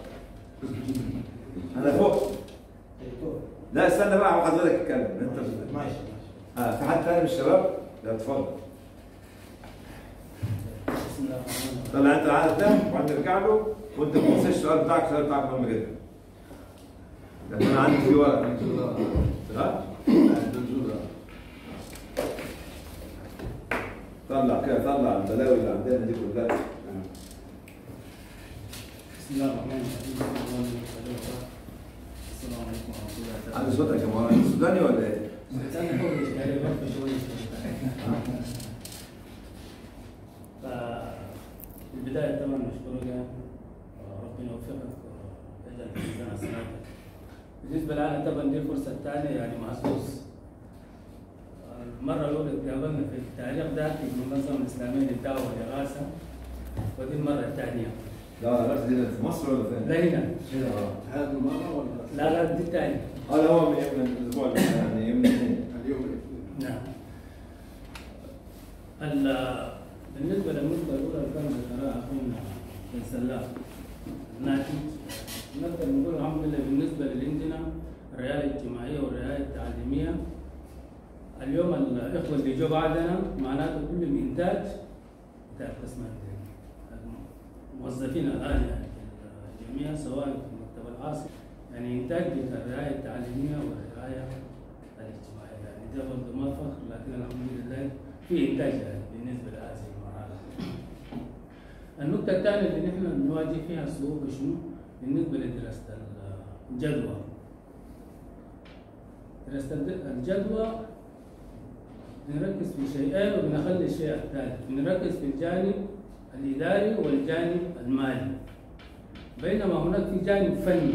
أيوه. الجانب الفني ده يعني كثيرنا بيكون مفقود وكان قبل انت ما تدخل كنا ندرس مع الأخ بن حماد. يعني كون الواحد أو الفريق ينزل مع الناس سواء على القرية أو المدينة أو المنطقة يشوف احتياجاتهم شنو قبل ما هو يعني المشروع دي شنو الحاجات المحتاجين لها شنو مثلا يعني سواء من الأمراض شنو هي الأمراض الموجودة شنو ده فجمع فيها. لو ما نزلنا يعني برنامج إنه برنامج مطبوخ جاهز تمشي تطبخ أو كل المكونات جاهزة تمشي تطبخها في الحتة دي أو كم كان نزلت فيه كمان ناقص الجانب الفني بتاعه. بس على سبيل المثال مثلا هسه نقول مخيمات العيون. اليوم ما من منظمة قالت بشكل مخيم عيون مخيم عيون مخيم عيون شو من مخيم العيون المستهدف جانب واحد بس اللي هي الماء البيداء والكترات بينما هناك جانب آخر قاعد المجتمع المحتاج له اللي هو ال- الجلوكوما الماء السوداء. ودي ما فيها نتيجه. هي الزرقاء دي ما فيها نتيجه اذا بدل ما نشوف إنه الناتج اللي هي بدل ما نشوف آه، هنا بننزل الجانب الكمي بدل من؟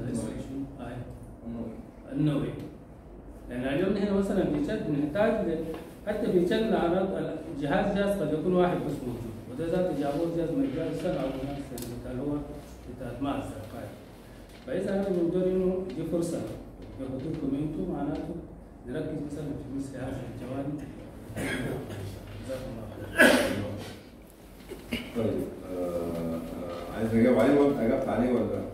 لا لسه. ها؟ وطبعا الجانب الفني ده بيكون جانب مهني. يعني آه، بيكون التوجه بتاعي أنا كرئيس مكتب هنا إن أنا عايز أعمل آه، الكاتراكت اللي هو الميه البيضاء سهلة جدا. سهلة جدا. بتتكلم 30 40 دولار 50 دولار لكل واحد. نعمل بقى شغل اعلامي كبير جدا. الجلوكوما صعب صعب إنك تعالج يعني. بس الدراسه اللي هو دراسه الحالة دي بتك- بتطلع من تحت لفوق. من تحت لفوق. فلا بد آه، ارسل خبير ولا توصيه. واخد بالك؟ ارسل خبير ولا توصيه. والخبير ده بيتكلم. فلو أنا ادارتي بتقول المصاريف الإدارية بس 5% مش عمرك ما هتعمل مشروع بالطريقة دي. 5% ده حتى ما تكفيش مصاريفك الاداريه داخل داخل داخل تشاد أو داخل النيجر أو داخل مالي على الأقل هنا من 7 ل 10% من الميزانيه بتاعت المشروع. اللي هي يكون جزء منها التدريب والتأهيل والمراجعة إلى آخره إلى ده بالنسبة لإيه؟ للنقطه بتاعتك. لكن من غير ما نبعت وقت ما أنا ضربت لك المثل بتاع الكورة. أنا ليه بشتري ميسي؟ ب 150 مليون وكريستيانو رونالدو مش عارف كذا ومحمد صلاح بكذا ومانو كذا والى آخره إلى آخره إلى آخره. صح؟ بشتري ليه؟ لأن أنا بستثمر فيهم. لأن هم دول اللي هيعملوا النصر. ومن غير خبير مفيش نصر. من غير خبير مفيش نصر. من غير صرف على البناء الداخلي ده هي- هينهار. يعني انت لما تبص مثلا الاهرامات انت قلت واحد سلماني هرم قبل كده. إعجاز المصريين في بناء الأهرامات من 3 4000 سنة كان على حاجتين. كيف حطوا الحجارة دي فوق بعضها؟ خلاص؟ ما حدش عارف لغاية دلوقتي إزاي. الأول قالوا الحجارة دي جابوها من جنوب مصر وشالوها بالبحر وكده. طلعت انها إيه؟ مش هي. فابني يا هامان من إيه من الطين صرحا مش كده؟ حد حافظ الآية دي؟ حد حافظ بس يقول لي الآية من الطين صرحا يا عمان جنبي إيه؟ يا. جنبي صرحا الطين. اتفضل. أنت عارف هو ده شخص ده الحال قول قول قول قول أيوه لا قال يعني قال لي صراحة لعلي ابلغ الأسباب. أنا كان الطين. أها. من الطين صرحا لعلي لعلي ابلغ الأسباب. طيب شوف أنا هقول لك حاجة. فالطريق يعني الأول كانوا بيقولوا إن ال- ال- الحجارة دي جاية منين؟ جاية من جنوب مصر. حجارة صلبة قطعوها وجابوها. كل حاجة بتطلع طلعت كده طلع الطين هو. أحد العلماء حلل التربة بتاع كسر أحد الحجارة دي وحلل التربة بتاعتها لقى ان فيها فقاعات مائية. يبقى ده الإعجاز القرآني اللي موجود عندنا. الطين صراحة كلهم بقى بالعلم بإيه؟ بالعلم. بالعلم. حطوها في بعضها دي بتفريغ الهواء ده حاجة ثانية لغاية دلوقتي إحنا ما وصلناش يبقى نرجع تاني للعلم. للعلم للعلم. يعني أنا دلوقتي علمت كل الناس. ها؟ علمت 100000 أنا عايز أطلع من 100000 دول خمسة علماء شفت من 100000 خمسة علماء ال الخمسة العلماء دول ممكن يغيروا تاريخ العالم كله. يبقى أنا تكون في رؤيتي وأنا بعلمهم إن أنا بعد كده هطلع خمسة أو 10 أو 20 عالم يغيروا وجه تشاد كلها أنا أخويا بيعمل تحليل طلعت حاجة؟ عندك أنت؟ وقال فرعون يا وقال فرعون يا ايها لا خلاص أنا عدينا خلاص. نتكلم عن بعض. لا هولندا عند- نيوزيلندا عندها أكثر من 5 مليون 5 مليون إيه؟ فقط و- وخرفان نعم هولندا sorry نيوزيلندا صليت على النبي تصور 126 مليون يعني ها؟ خرفان يمكن استراليا 126 مليون هنا هو استراليا بس هو ممكن هولندا عندها 5 مليون بقرة sorry نيوزيلندا أنتوا عندكم حاجة و70 مليون بقرة هولندا هولندا عندها 1.8 مليون فقط هولندا عندها كام بس كده عشان الناس تسمع 1.8 تعال قرب هنا قرب هنا عندها 1.8 مليون تقريبا 2 مليون تقول 2 مليون 2 مليون وانتوا عندكم كام؟ 70 مليون ها؟ آه شوف اسلوب طب طلع لك جمال شوف شوف استراليا عندها كام جمل هتلاقي. كم مليون الشارع 13 14 أنا مليون على الثروة الحيوانية دي كلها. طب دول عندهم 2 مليون. وأصبحت هولندا المنتجة للزبدة واللبن والجبنه اقتصاد قوي. ليه؟ لأن الأربع مؤسسات اللي اتكلمنا عنهم دول الحكومة القطاع الخاص المجتمع المدني والاكاديميا حاربوا الفساد. حاربوا الفساد. أغلب الدول العربية عندها بترول صح؟ في إيه؟ في قاع الإيه؟ التقدم العمراني والتقدم العلمي والتقدم الحضاري. شفنا بقى؟ اطلع طلع الحاجات فدي بالنسبة لإيه؟ رحنا هنا العلم فالعلم محوري أنا هعلم الناس هعلمهم إيه؟ والتعليم ده هيوصلهم لإيه؟ يعني مثلا ليه باراك أوباما اهتم بال 3 دي يعني اللي هو ال- الاجتماعي. لا لا لا 3 دي اللي هو ال- ال- ال- ثلاثي الآن ثلاثين الأبعاد في علم الكمبيوتر. اهتم بيه كرئيس دولة. الطباعة لكل شيء. فده بيخرج الطفل إنه بيلعب على الفيسبوك بيتفرج على الجيمز إلى انه يفكر إزاي يعمل مشروع.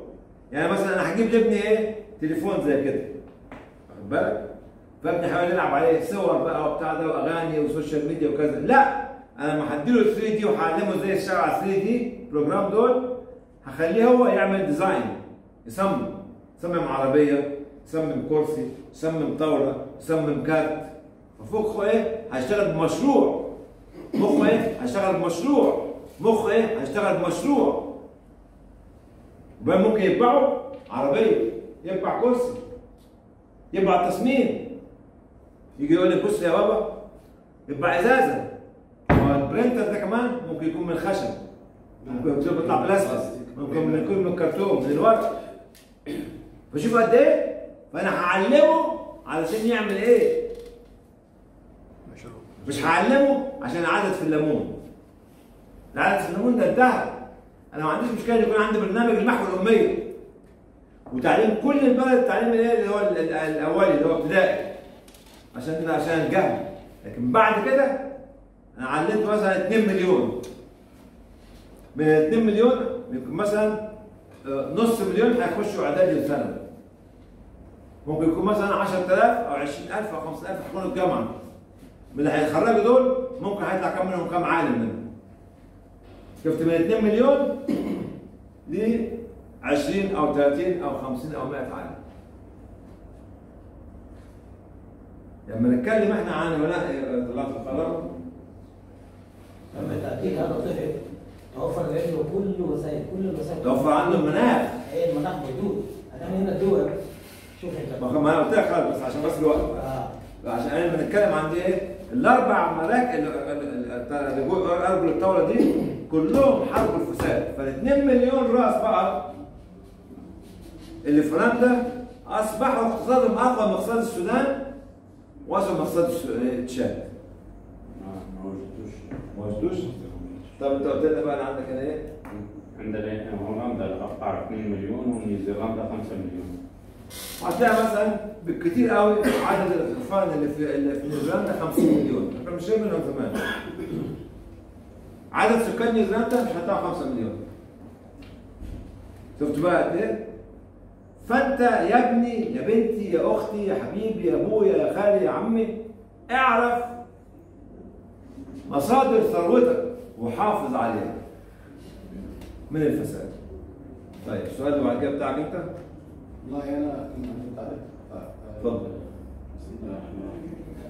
آه، بالنسبة لل عملنا على مستوى الميدان يعني كثير من الجمعيات يعني يغلب عليها الجانب ال- يعني الميداني الجانب التطبيقي والتنفيذ المشاريع وليس لها قبل بدايه المشروع ولا بعد. المشروع لا بالنسبة لاستخلاص الدروس من التجارب المشروع سواء يعني كتقييم مثلا تكون مثلا آه، أخذ الدروس ولا كذلك قبل انطلاق المشروع تكون دراسة كافية ب يعني تحديد الاحتياجات بشكل علمي بشكل يعني معقول ولا تحسب هذه التكلفة سواء قبلية أو بعديه على المشروع. يوجد اختلاف ما بين ال- الإغاثة. وما بين ال- الأمر المباشر. هو أن الإغاثة تشتغل على على المشاريع. يعني يعني تشتغل على مشروع معين.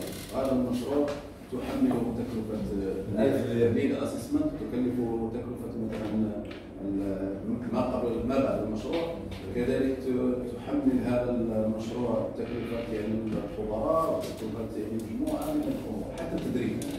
لكن بالنسبة للعون المباشر يشتغلون على بطريقة مختلفة وعندهم موازنة سنوية عندهم بيدجي عالميا عندهم أكشن بلان يشتغلون طول السنة بنفس الميزانية الإدارية ولا وليس لا توجد علاقة للمشاريع يعني بالميزانيه الإدارية. فهي بعيدة عن الميزانية الإدارية. هذا فرق يعني نوعا ما. قد يكون آه، طريقة العمل في بعض الأحيان قد تكون معيقه لإدخال هذه البنود في الموازنة. طيب. أنا بس أرجع أقول النقطة دي. أنتوا عايزين كم ولا عايزين نوع؟ ها؟ لا نوع معا شوف يا ابني أنت عايز الب... في بنتين. واحدة بيضة وواحده سمراء والاثنين زي القمر وانت دخلت شفت واحدة هتتجوزها لقيت اختها أحلى منها وأنا عايز اتجوز الاثنين ما ينفعش. إلا من سما من من سبق؟ لا لا لا لا لا ما ينفع. ما انت ممكن تبقى عندك زوجتين بس مش اخوات بنات. واخد بالك ولا بنت وامها ما ينفعش. الأم زي القمر وأرملة. بس تتجوز الأم.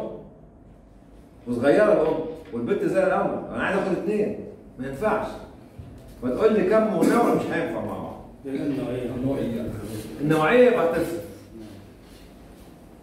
والنوعية عايز تغيير في المنهجية والفكر من فوق لأن الرأس فين؟ الراس هنا الراس مش هنا. الراس مش في رجليا الراس مش صباع رجلي. حتى عند الهنود في أحد الديانات يقول لك في هناك الاسياد خلقوا من الرأس. أما العبيد والكذا اللي هم خلقوا من صوابع الرجلين مش حتى من صوابع اليد هم فمتقسم الجسم كده على ان من رجل الإله ومن ركبة الإله ومن وسط الإله ومن رأس الإله خلق بعد إيه؟ اللي هي الطوابق في المجتمع أو الطبقات في المجتمع فأنت عايز إيه؟ لذلك أنا قلت لكم في الأول إحنا عايزين محو أمية يعني مثلا وإحنا بنتكلم عن الاكاديميات Save the Children عاملة أكاديمية اسمها أكاديمية ال- الإنسانية مش عارف HL حاجة زي كده فلما سألت أحد البنات هناك شغالة معاهم ماشي ما كانش مدير يعني قلت لها إيه الاستراتيجي بتاعك؟ إحنا كل سنة إن على الأقل 10000 يتعلموا ومن خلال الأكاديمية بتاعتنا عن طريق الإيه؟ التواصل الإنترنت. فعملوا كل برامجهم بمنتهى القوة على الأونلاين مفيش تكلفة إلا التكلفة الأولى اللي هي التكلفه لكن هم بقى هيحصدوا إيه؟ هيحصدوا المعلومة عن كل واحد من ال 10000 اللي جه داخل عندهم. وده من هنا وده من هنا وده من هنا وده من هنا. فهيختار منهم القيادات معايا؟ مفيش عمل من غير فكر. لذلك انت الكلمة اللي بتقولها مهمة جدا. المؤسسة هي اللي تقول. أيوه الم- الم- ال- ال- المكتب ده لابد إن أنا أقويه بازدياد بعض الناس اللي يخففوا العبء عن الناس علشان بدل ما يشتغل 8 ساعات في اليوم أو 10 ساعات في اليوم يبقى في ساعة بيفكر فيها. التوجه ده بيجي من مين؟ من عندنا إحنا. من عندنا المكتب الرئيسي. لذلك أنا مرة يعني يعني كتبت ورقة اسمها آه، إدارة الأخلاقيات الإنسانية. إدارة لسه ما عملتش فيها دي. إدارة الأخلاقيات الإنسانية. معناها إيه؟ أول جزء فيها إن عمل الإنسان دلوقتي اخترق بمن لا أخلاق عنده. أو من لا خلق له أو لهن موضوع بقى و- و- وموضة وكذا وأنا مش لاقي وظيفة نخش فيه. واخد بالك؟ وده على مثلا الجيل بتاع الدكتور عبد الرحمن السميط رحمة الله عليه. مش موجود دلوقتي. جيل التمانينات ده انتهى مش موجود. حتى جيل التسعينات مش موجود. سواء كان في الميدان أو كان في ال- المكاتب ال- ال- ال- ال- الرئيسية.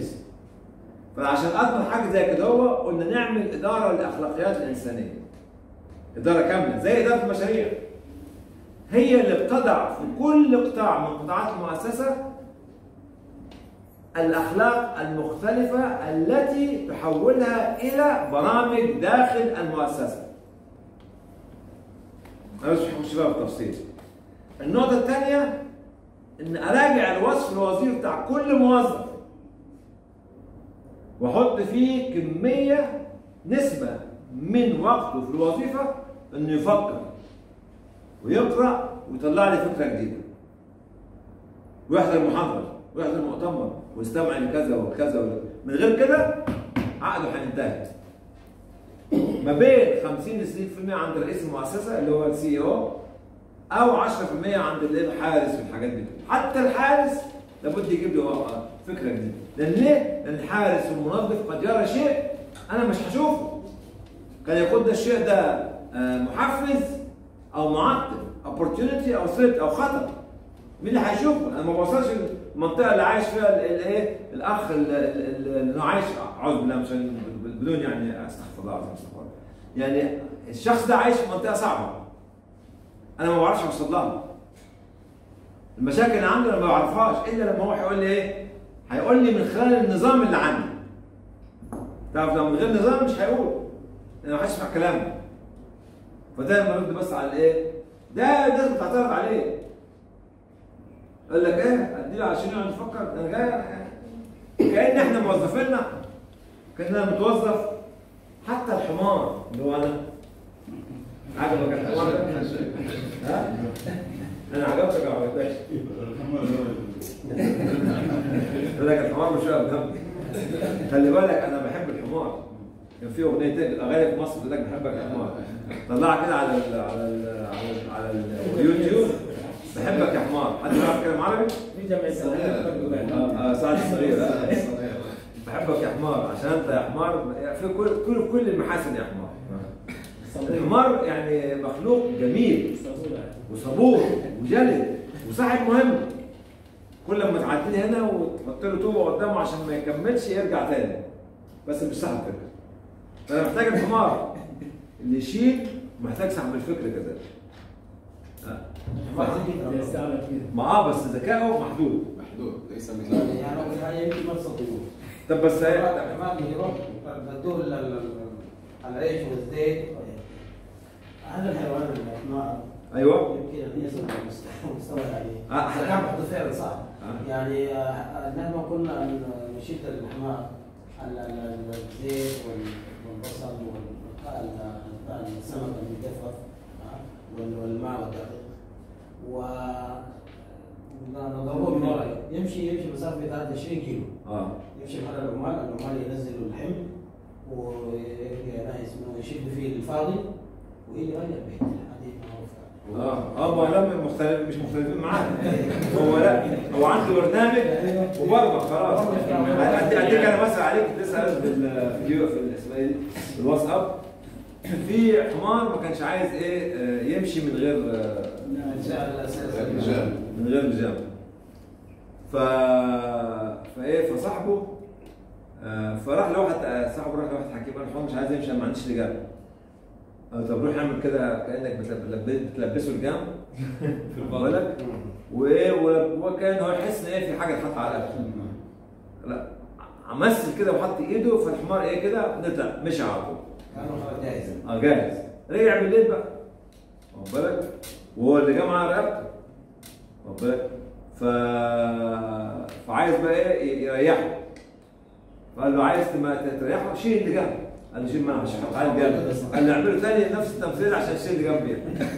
يعني معناها إيه؟ معناها انه فكره يعني هو هو هو طالما برمج ده كمبيوتر مش هيديك حاجة غير اللي موجودة فيه. اتفضل.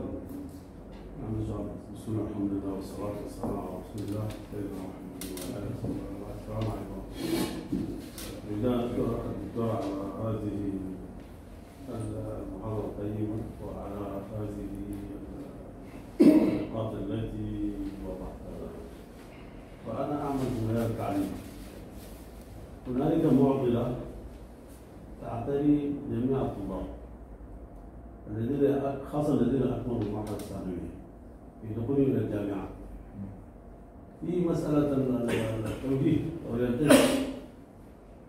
الطالب يتخبط لا يستطيع أن يختار القسم الذي يواكب أو الذي يجب فيه وظيفة بعد التخرج أو متطلبات سوق العمل بعد التخرج علما أن هنالك تخصصات قد عفى عليها البحث في كثير من الدول هي خاصة في أظن في كليات أغلقت عنها ما طلاب أو طلبات فأنا أريد منك توجيه خاص للذين يحصلون على البكالوريا. إلى أين يتجهون؟ كليات الإنسان إذا كمل ما ما يكون شمال زي ما قال. صلوا على النبي. صلى الله عليه وسلم. ده بنسميه كارير. اللي هو مستقبل الطالب وده في في بريطانيا على الأقل عندنا هناك في في المدرسة الثانوي بيكون في مدرس علشان يقول لك تفكر إزاي في الكارير بتاعك قبل ما تقدم للجامعة. يعني في حاجة اسمها O level وحاجة اسمها A level A level زي البكالوريا. عندكم فهو أما مجرد ما هيخش من ال O level لل A level بيقولوا له أنت هتدرس عايز تخش كلية الطب يبقى تدرس مواد علمية كيمياء طبيعة كذا كذا كذا كذا. عايز هندسة يبقى حساب كذا إلى آخره. فده ال career أنا ما أقدرش أجي نقطه عالمية لمشاكلك هنا. لا صاحب الكارير هيكون واحد من هنا. يكون عنده مكتب أنت وأنت بت- بتعلم الطلبة دول كلهم ها عشان يتخرجوا من البكالوريا تكون متفق مع شركة تتشاهد ان هو وهي الشركة دي تيجي للمدرسة الثانويه بتاعتك تحط خريطة الايه ال- ال- ال- ال- الوظائف واحتياجات المجتمع. عندك في مناجم الذهب مثلا عندك في اللي هو بتاعت البترول الغاز الزراعة ال- الاعمال اليدويه ال- كل الحاجات دي كلها. فتيجي الشركة دي أو يكون متخصص ده اللي أنت تدفع له فلوس أو يكون هو جزء من البرنامج بتاعك. أنت عندك مثلا كم طالب هيخش البكالوريا؟ كم واحد؟ مثلا عندك أنت كم عدد الطلبه اللي عندك 3000 مثلا؟ ها؟ اللي فيهم في البكالوريا كم واحد؟ 100 400 طالب 400 كم واحد فيهم في البكالوريا هذا 216 200 16 ال 200 دول في المدرسة عامل لهم حصه اسمها حصه الكارير اللي هو يجيب الشخص ده يقعد معاه وممكن من حق الطالب عندك في المدرسة انه يقعد معاه لوحده لأن كل طالب عنده حلم مختلف ده اللي بيعملوه كده غرفه أو عين مدرس مدرس يجي عشان الطلبة يقعدوا معاه يعرفوا يعملوا إيه بعد ما إيه ما يخلصوا الجامعة. طب أنا هخش الكلية دي مستقبلها إيه؟ هخش الكلية دي مستقبلها إيه؟ العملية مش عملية بالشبر كده. أو بالعدد يعني زي ما قلنا يعني خلاص ده عندنا 500 طبيب طلعوا. طب ما عندناش مستشفيات ما عندناش مستوصفات. عندنا 5000 مهندس ما عندناش شركات للبناء. واخد بالك؟ فيكون انت عندك في المدرسة جزء منها حصة أو موظف في المدرسة موظف علشان يقول لك احتياجات السوق. قبل الطلبة دول ما يخشوا الجامعة عشان أصل لو عملنا إحنا قسم أقول لك قسم هيكلف كتير. يعني ممكن يكون شخص واحد. لو العملية كتفت نعمله قسم.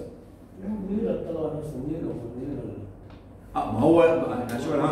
هو هو لما هيقعد مع الشخص ده الطالب هيقول له أنا عايز كذا هيقول له أعمل كذا.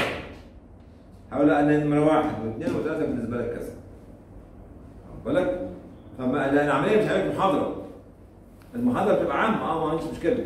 بس الطالب ده ده ميول الطالب ده غير ميول الطالب ده غير ميول الطالب ده كلهم. ودول لما هيقعدوا معاك أنت كمتخصص ها إيه كمتخصص هتوجهه هتديله ثلاث كليات والله لو لو جبت كذا يبقى الطالب وهو بيدرس في في البكالوريا هيدرس المواد اللي يجي فيها نمر تدخله الكلية تخلي حاجة هو بيعملها. فمن غير كده الطالب هيكون محتار. الطالب هيكون محتار. اتفضل. حاجة ثانية أسئلة يا شباب؟ اتفضل. أنا بقول لك أنا قاعد الصبح لما مراتك مراتك جت ولا ما جاتش؟ وانت ما جاتش. خلاص قاعدين. أنتوا متجوزين ها؟ أنا اسال لغاية العصر. بقول لك إيه؟ بقول لك إيه؟ إيه إحنا كنا خارجين الليل امبارح هنروح نرتب على خير الليل. هنصلي هنصلي. والله هنصلي. صلي على النبي ما انت انت مش بقول لك كل شوية صلي على النبي مش قاعدين نصلي اهو. يلا. مصلى والسلام على من لا نبي بعد ثم أما بعد.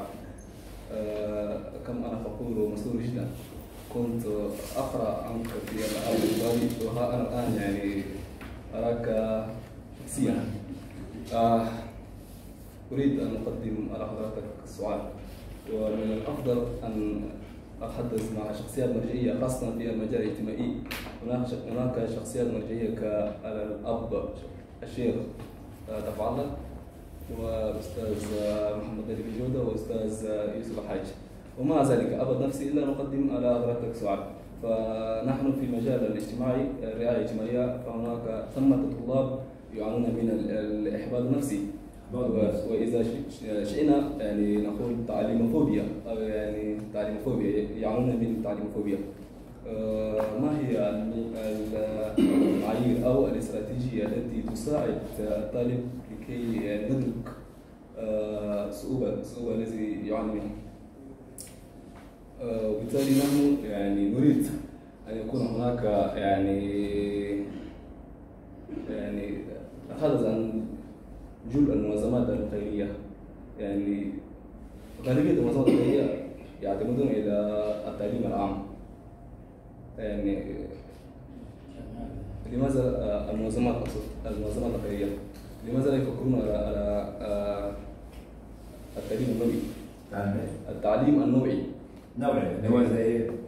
زي يعني زي مهني وشكرا. بتتكلم عن الايتام الداخلية. مش مشكلة.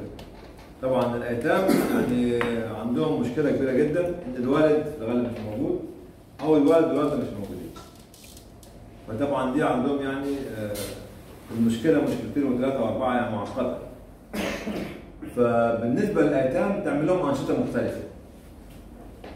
أنشطة مختلفة خلاف اللي هو آه، ال- الكفالة العادية.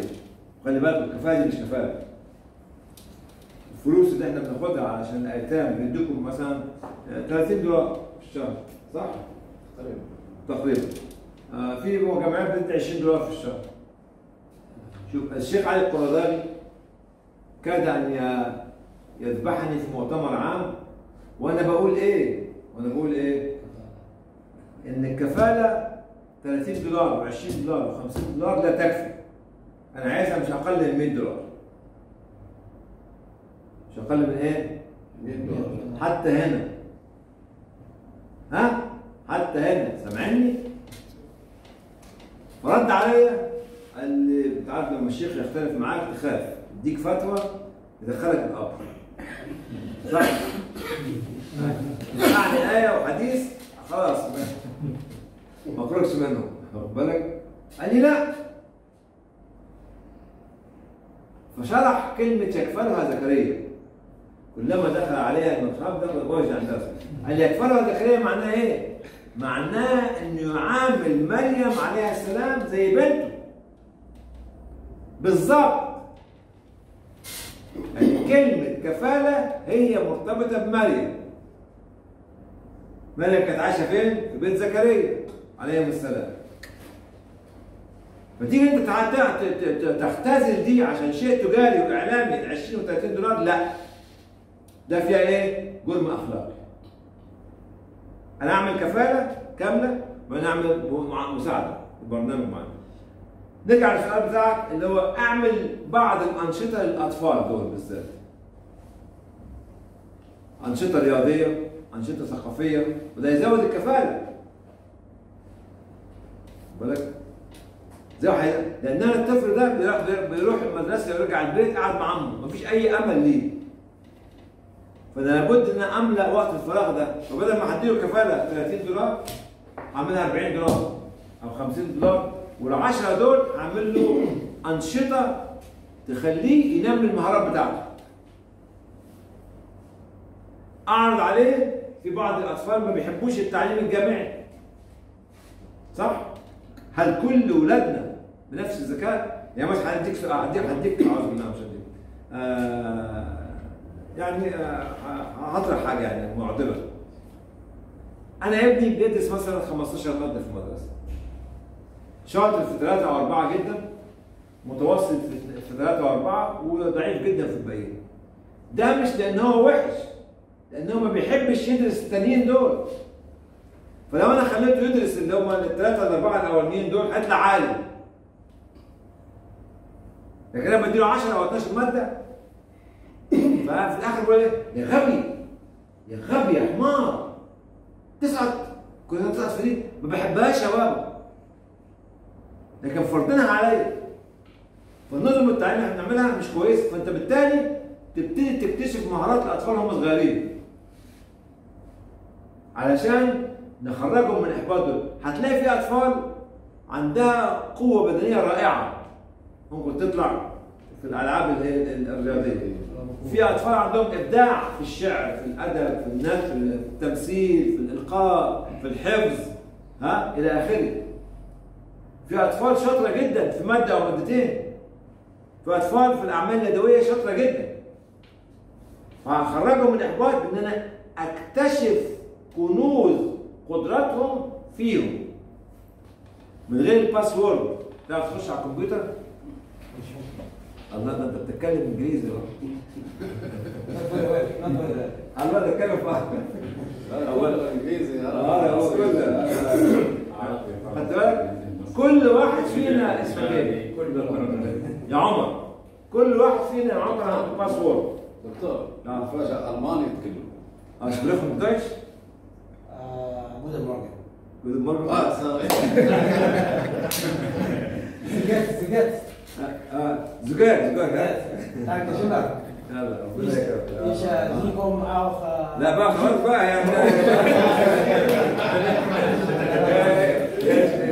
Deutsch خلاص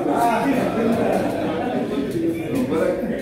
فكل واحد فينا كبشر عنده password الفرق بيننا وبين الصحابة رضي الله عنهم إن هم من خلال إيمانهم اكتشفوا ال password فاصبحوا صحابة. إحنا من خلال ضعف إيماننا مش عارفين نكتشف فتايهين في الدنيا.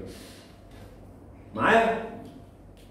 طول ما أنت مش عارف الباسورد بتاعتك تفضل تلف حوالين نفسك.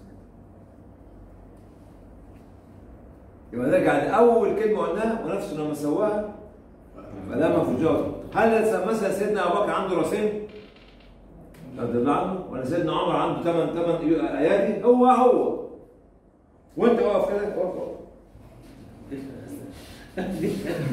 آه سيدنا عمر كان طولك كده بس كان بسم الله ما شاء الله يخ- يخوف شوية. يعني واخد بالك؟ كان مليان يعني واخد بالك؟ أنت عندك راس وهو عنده راس. أنا عندي راس بتنام. هو عنده راس لا تنام. أنا عندي قلب لا يذكر هو عنده قلب يذكر. تنام الاعين ولا تنام الايه الأفئدة. عندك أنت عايز تدي للطفل ده الأمل خليه ينتج حاجة بايده كده وي- ويبقى فرحان. كان في أنا قريت حاجة كده أمس. ما تقولش للطفل انت انت انت انت, أنت غلطت. أو الإجابة بتاعتك غلط.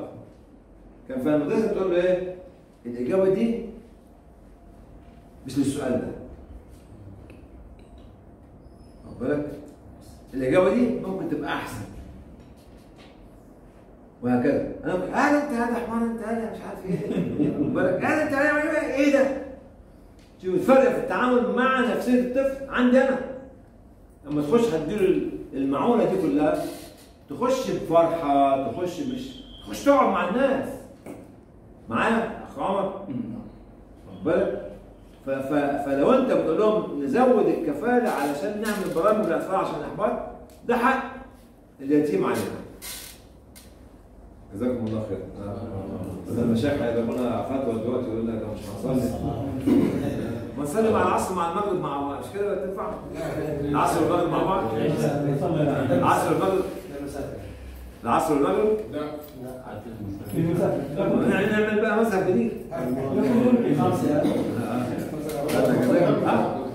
مداخلة بس نكملها بعد الصلاة إن شاء الله. لا صح هيمشي لا لا مش. آه عايز عشان أول؟ خليه خليه هو الأول يعني اخر واحد اخر واحد لا. اخر واحد عشان العصر هيخش علينا بعد ساعتين لا استوعب انجليزي كمان امال ليه امال ليه مكلمين بوريس جونسون بسم الله الرحمن الرحيم الحمد لله والصلاة والسلام على نبينا محمد وآله وصحبه أجمعين ثم بعد. غرار من سبقني أتقدم بالشكر الجزيل لكم وعانكم الله فقدكم وصدقكم. جزاكم الله خير فيما يتعلق ما كنت أتداخل لولا أنني سمعت ربما اعتراض الشيخ لكم من خلال طلبكم زيادة الكفالة فأنا رأيي لا لم يعرض على زيادة الكفاءة نعم. قال بأن يعني لا، اعتراض على زيادة الكفاءة. آه لا لا لا الشيخ ما زودهاش لا. الشيخ اعترض على 100 دولار قال ممكن تكون أكثر من كده. أيوه اعترض على الزيادة ولا لا؟ لا اعترض على إن الزيادة دي مش كافية. يعني الشيخ طلب زيادة أكثر قال بأن معاملة اليتيم يعني مثل معاملة مريم آه يعني يعني مثلا آه هو هو يعني بيأكد وقال لي لا 100 دولار مش كافية. أوكي خلاص. لا زود لا. لا, لا عندي مداخلة أخرى ثانية؟ آه، المداخلة الأخرى يا شيخ آه، ذكرتم في بداية الحديث عن عش... عن آه، عشوائية العمل المؤسسي في- المؤسسات الإسلامية. أو إن شئت آه، سميها كما سميتموها بالدروشة. الدروشة يعني. فالمؤسسات الإسلامية ربما كانت في وقت من الأوقات مضطرة لأنها تمشي على غرارها آه، لأنها كانت تفتقد إلى كثير من ال- الإجراءات أو إلى كثير من المعطيات اللي تخليها تنطلق نحو المؤسسات الكبيرة التي تمشي آه، وفق الإجراءات وفق لأن كما يقولون عندكم في مصر كل شيء بثمن الآن المؤسسات هذه الإسلامية الآن في كثير من بلاد العالم إذا أرادت أن تجاري المؤسسات الكبيرة فهذا يعني ذلك أن أمامها تحدي كبير. وما زال نحن تقريبا لسنا على قدر هذا التحدي في كل شيء فكيف بنا وأنتم يعني لكم ما شاء الله تجربة كبيرة تدربون منذ سنوات في مجال التنمية البشرية. نحن كأمة حتى الآن لدينا ثروات. نحن ربما لا نساوي أو لا نستطيع أن نضاهي ال- الغرب في التقدم المادي. لكن من حيث المال والثروات مازال نحن اللي نملك. فأي تأخر نحن الآن فيه؟ عندما نتكلم عن التقدم العلمي والمادي هذا يعني أننا لا نتكلم عن النقص عندنا في المجال العلمي. إذ أننا إذا أطلقنا العلم وقصدنا بذلك العلم الذي يأخذنا إلى السعادة في الدنيا والآخرة. وهذا ولله الحمد نملكه فأين المشكلة الآن فينا؟ ثم إذا ما أردنا أن نخرج من عصر الدروشة إلى عصر المؤسسات هذا يعني نحن أمام تحد آخر وهو أننا آه، دائما أعمالنا مؤسساتنا كلها قائمة على التبرع. فهل نحن مضطرين لأن نأخذ ذلك المتبرع إلى القبض أو إلى ال- الانطلاق نحو المؤسس بمعنى بدل أن يتبرع لي ب 20 أنا لابد أجعله يتبرع لي 200 كي أتبع جملة من الإجراءات حتى أصل به إلى آه، ما جزاكم الله طبعا عايز يوم ثاني بس أنا جزاكم الله خير انت اثرت كذا نقطه آه، نقطة اللي هو آه، تعليم المتبرع مش هتعرف فلوس متبرع أكتر إلا لما ماسك فيه خاصة لما تقول من 10 تبقى 20 ليه؟ لازم يكون عندك حيثيات الزيادة. دي نمرة واحد فلابد يكون تواصلك مع المتبرع تواصل دائم في شفافية عالية في مصداقية. عشان تقول له أنا بشرح لك إن اليتيم بكذا هيبقى بكذا عشان واحد اثنين ثلاثة أربعة خمسة. الناحية الشرعية الناحية الاجتماعية من ناحية مستقبل اليتيم ده نفسه. حتى سن اليتيم. في مدرسة بتقول لك 16 أو 18 سنة ومدرسة بتقول لك لغاية ما يخرج من الجامعة. المدرسة بتقول لك لغاية ما يجد عمل. ممكن يجد عمل وهو عنده 17 سنة أو 14 سنة أو 15 سنة. واخد بالك؟ وهكذا. فدي مدارس مختلفة. دي نمرة واحد. نمرة اثنين إحنا كنا في الماضي عايشين في جو ربيعي. لما كانت تدير العالم آه، أكت- آه، من قوة كنا إحنا مرتاحين نفسيا. لأن تسارع القوى الكبرى كان بيديك مساحة في العمل في المجتمعات. دلوقتي أصبحت في قوة أحادية. فرض سلطتها على كل العالم حتى على الحلفاء بتوعها. فأصبحت أنت في نصيبك منها اللي هو الإسلاموفوبيا. هم اليهود بغض النظر بغض النظر بغض النظر بقول مين السبب بقول إحنا اللي إحنا عايشين فيه هو إيه هو ده. وننظر لمثل هذا الأمر في قوانين جديدة. شئت أم أبيت أنت حتى هتنفذها أو هتتبعها. لأن ما عندكش قدرة على إيه؟ إنك تخترقها لو اخترقتها هيصرفوك ألف أو ب أو ج أو د دي نمره. عفى الله عما سلف؟ لكن المجتمع الدولي بمؤسساته بسياساته بسياساته بمؤسساته تغير. 180 درجة في ال 20 سنة اللي فاتت. 120 درجة 180 درجة. يعني أنا هديك مثلا من الأمثلة. اللي غيرت كل القوانين عندنا دلوقتي في بريطانيا. اللي هو قصة اللي هو آه، آه، بيت الدعارة اللي كان فاتحه مسؤول أوكسفام في هايتي في 2010 ساعة الزلزال. ده قدمت في شكوى في 2010 اوكسفام قدمت تقرير في 2011 ادته للحكومه اللي هو Charity Commission جم 2017 حصل هوجة كده هوجة على اوكسفام فتحوا الموضوع ده تاني. عمل تغيير في كل القوانين في المؤسسات دي كلها. عملوا حاجة اسمها safeguarding إن هي بتحمي المرأة والطفل من أي عامل من العمال دول. وجزء من القوانين الجديده عملت الحكومة البريطانية دي إن هو لو كان حصل ده عندك من 10 سنين اخترنا عشان لو اكتشفناه وأنت ما قلتش هنعاقبك. فاللي هم بقى ما لهمش على نفس الدين وعلى نفس الثقافة وعلى نفس القيم بيضعوا قوانين لحماية المرأة والطفل. إحنا بنضع إيه؟ العملية مش عملية مال. أغلب الدول العربية مالها بسم الله ما شاء الله لكن عقلها بسم الله ما شاء الله.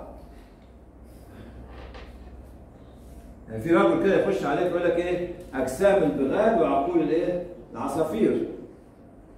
مدخل عليك راجل كده بسم الله. آه يا سلام! ولما يتكلم يخرب بيتك. جاي منين أنت؟ مش فاهم حاجة خالص. ليه تقدم الغرب عننا وعن العالم كله؟ لأنه لأنه اتعلم دي نمرة واحد. وتعلم من اللي اتعلمه قبليه دي نمرة اثنين. من عمل أنظمة. أنت كنت بتتكلم عن الحروب اللي كانت هنا في اول الجلسه الغرب عمل حربين الحرب العالمية الأولى والثانية. ما بين الحربين أكثر من 100 مليون شخص مات. 2 مليون امرأة من ألمانيا اغتصبنا من قوات اللي هو ال- ال- الحلفاء لما دخلوا ألمانيا. لدرجة لما سقطت برلين كان في نساء دخلوا الدكاتره علشان يدوهم حقن يموتوا نفسهم عشان ما يغتصبوش. نص مليون طفل غير شرعي. من ألمان. سبيخن دويتش هي أعظم دولة في العالم كانت في الوقت ده 2 مليون امرأة اغتصبنا. واخد بالك؟ فلما نيجي نقول الناس دي عملت بعد الحرب العالمية الأولى والثانيه قالوا لا خلاص كفاية مفيش حروب.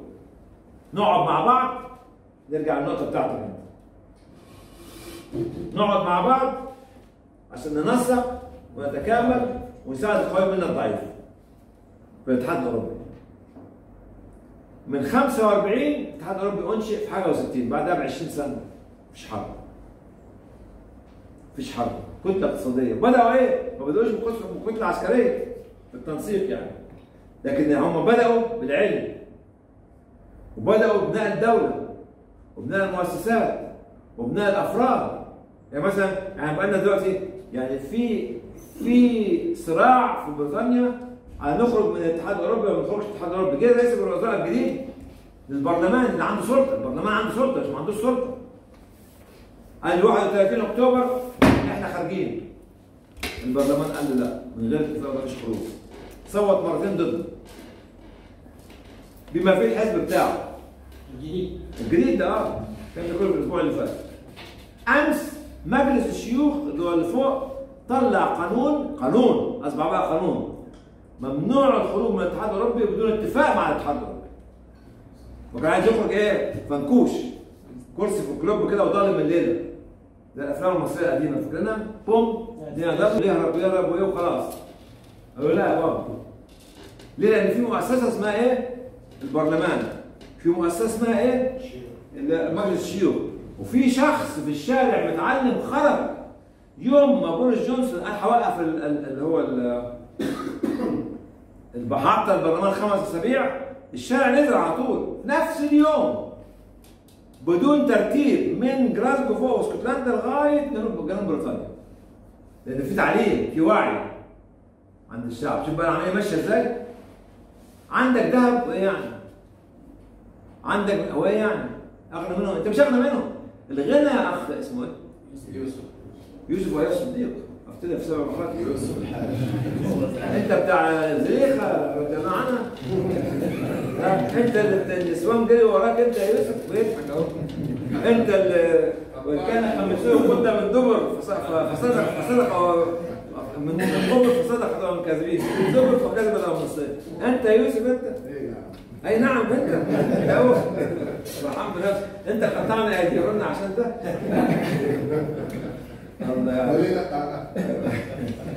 المهم أنا كنت آه. هم بدأوا اتعلموا من أخطائهم. اتعلموا من أخطائهم. إحنا لو إحنا نبص لثروات أفريقيا كلها لذلك في ناس هنا عايزين ينهبوا أفريقيا. لأن إحنا رافضين نعلم الناس. رافضين نوعي الناس. رافضين نحارب الفساد. لأن في عندنا سلطات بتحاول إنها تدعم الفساد عشان هي تستفيد. فأنت مش غني. لو أنت عارف غني هو مين؟ اللي عنده مخ وعقل ومعلومة الوطن. ده الغني الدولة العثمانية لما انشات من من ثمان قرون أو تسع قرون تقريبا كانت قبائل مجرد قبائل جاية من الصين. لو أنتم فاكرين في قضية قضيه دول؟ فدول هم هم نفسهم. كانوا جايين عشان دولة تساعدوا الدولة السلجوقية اللي, كانت موجودة في قونيا. ما كانش في حاجة اسمها تركيا. معايا يا يوسف نعم ولا ده بص النسوان دلوقتي. هم فين؟ بنت ده ده مش عارف عند مين ده؟ عندكم؟ عندكم أنتوا؟ أنا هقول لعبد الله هقول لعبد الله يجيبك. المهم خرجوا كقبائل على الخيول وعلى الحمير وانساهم شوف انت عندك القبائل لما بتهاجر من منطقة لمنطقة بتاخد النساء والاطفال إلى اخره عندهم هدف واضح ده مهم جدا. هدف واضح إن هو يساعدوا الدولة السلجوقيه اللي بتمثل الإسلام في الوقت ده. عندهم ده هدفهم لكن شخصيتهم كانوا أقوياء كانوا مقاتلين كانوا مؤمنين وكان عندهم ولاء غير عادي للقائد بتاعهم. خصائص لبناء مجتمع. مشوا من الصين لغاية ما وصلوا لحدود تركيا. من غير إمكانيات بس بالرؤية وبالهدف. وبمحافظتهم على القيادة بتاعتهم. بعد كده هو مات الأب ومات الجد والأب وإلى آخره. والابن الصغير اللي هو اسمه عثمان هو اللي بدأ يعمل الدولة العثمانية. حتى ما كانش اسمها دولة عثمانية في أيامه سموها بعد كده.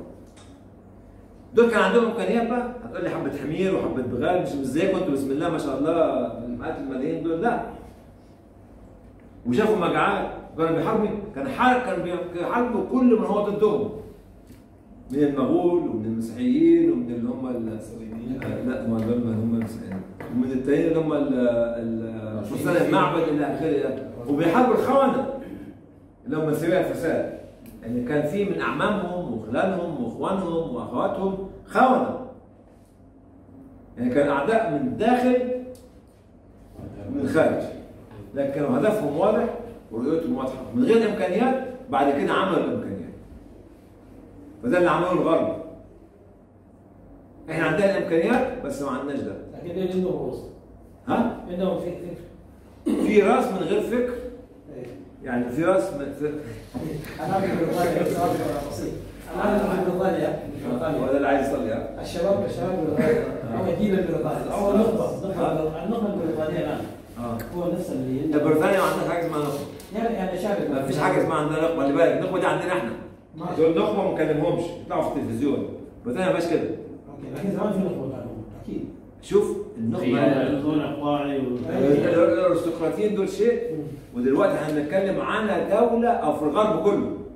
2003 لما كان يفتح البترول البترول لما كان يفتح اسمه ده مش هدولك بقى عشان انت عايز إيه انت عايز تصلي فشوف فقال فلما البترول طلع الش- الشارع الش- الشارع الفرنسي. كله ضجة. ليش؟ آه قال ليش؟ لأنه قال هذا البترول اجيالنا اجيالنا إحنا قال جينا المفروض يكون لنا أنا كيف شوف أنا أنا فكره أنا عندي قضايا في بريطانيا. هذا إذا كان شوف الشباب ال- الشارع الشارع الفرنسي الشباب الجديد في شارع البترول في افريقيا في شارع لما تدفع 2003 جاء وعمل ضجه بقى الناس يستفسروا. شو اللي حاصل؟ قال هذا هذا الرصيد ده الرصيد بتاعك هذا ال- اللي هو المال بتاع الجيل. طيب. هذا الرؤوس اللي يفكرون آه أنا هديك سؤال ثاني هديك فرنسا لما كسبت كاس العالم السنة اللي فاتت. وكان في واحد كده قال نقطة قال افريقيا كسبت كأس العالم 2018 صح؟ نعم. وزير الخارجية الفرنسي زعل ولا؟ لا؟ زعل. طلع تصريح كده. أيوه لأن ثلاث ارباع الفريق بتاعك. بسم الله ما شاء الله. بيض زي حالاتي كده. وأنت أنت أبيض كده. شوف شعر حلو إزاي أصفر. أو عينيه خضراء بص عينيه خضراء إزاي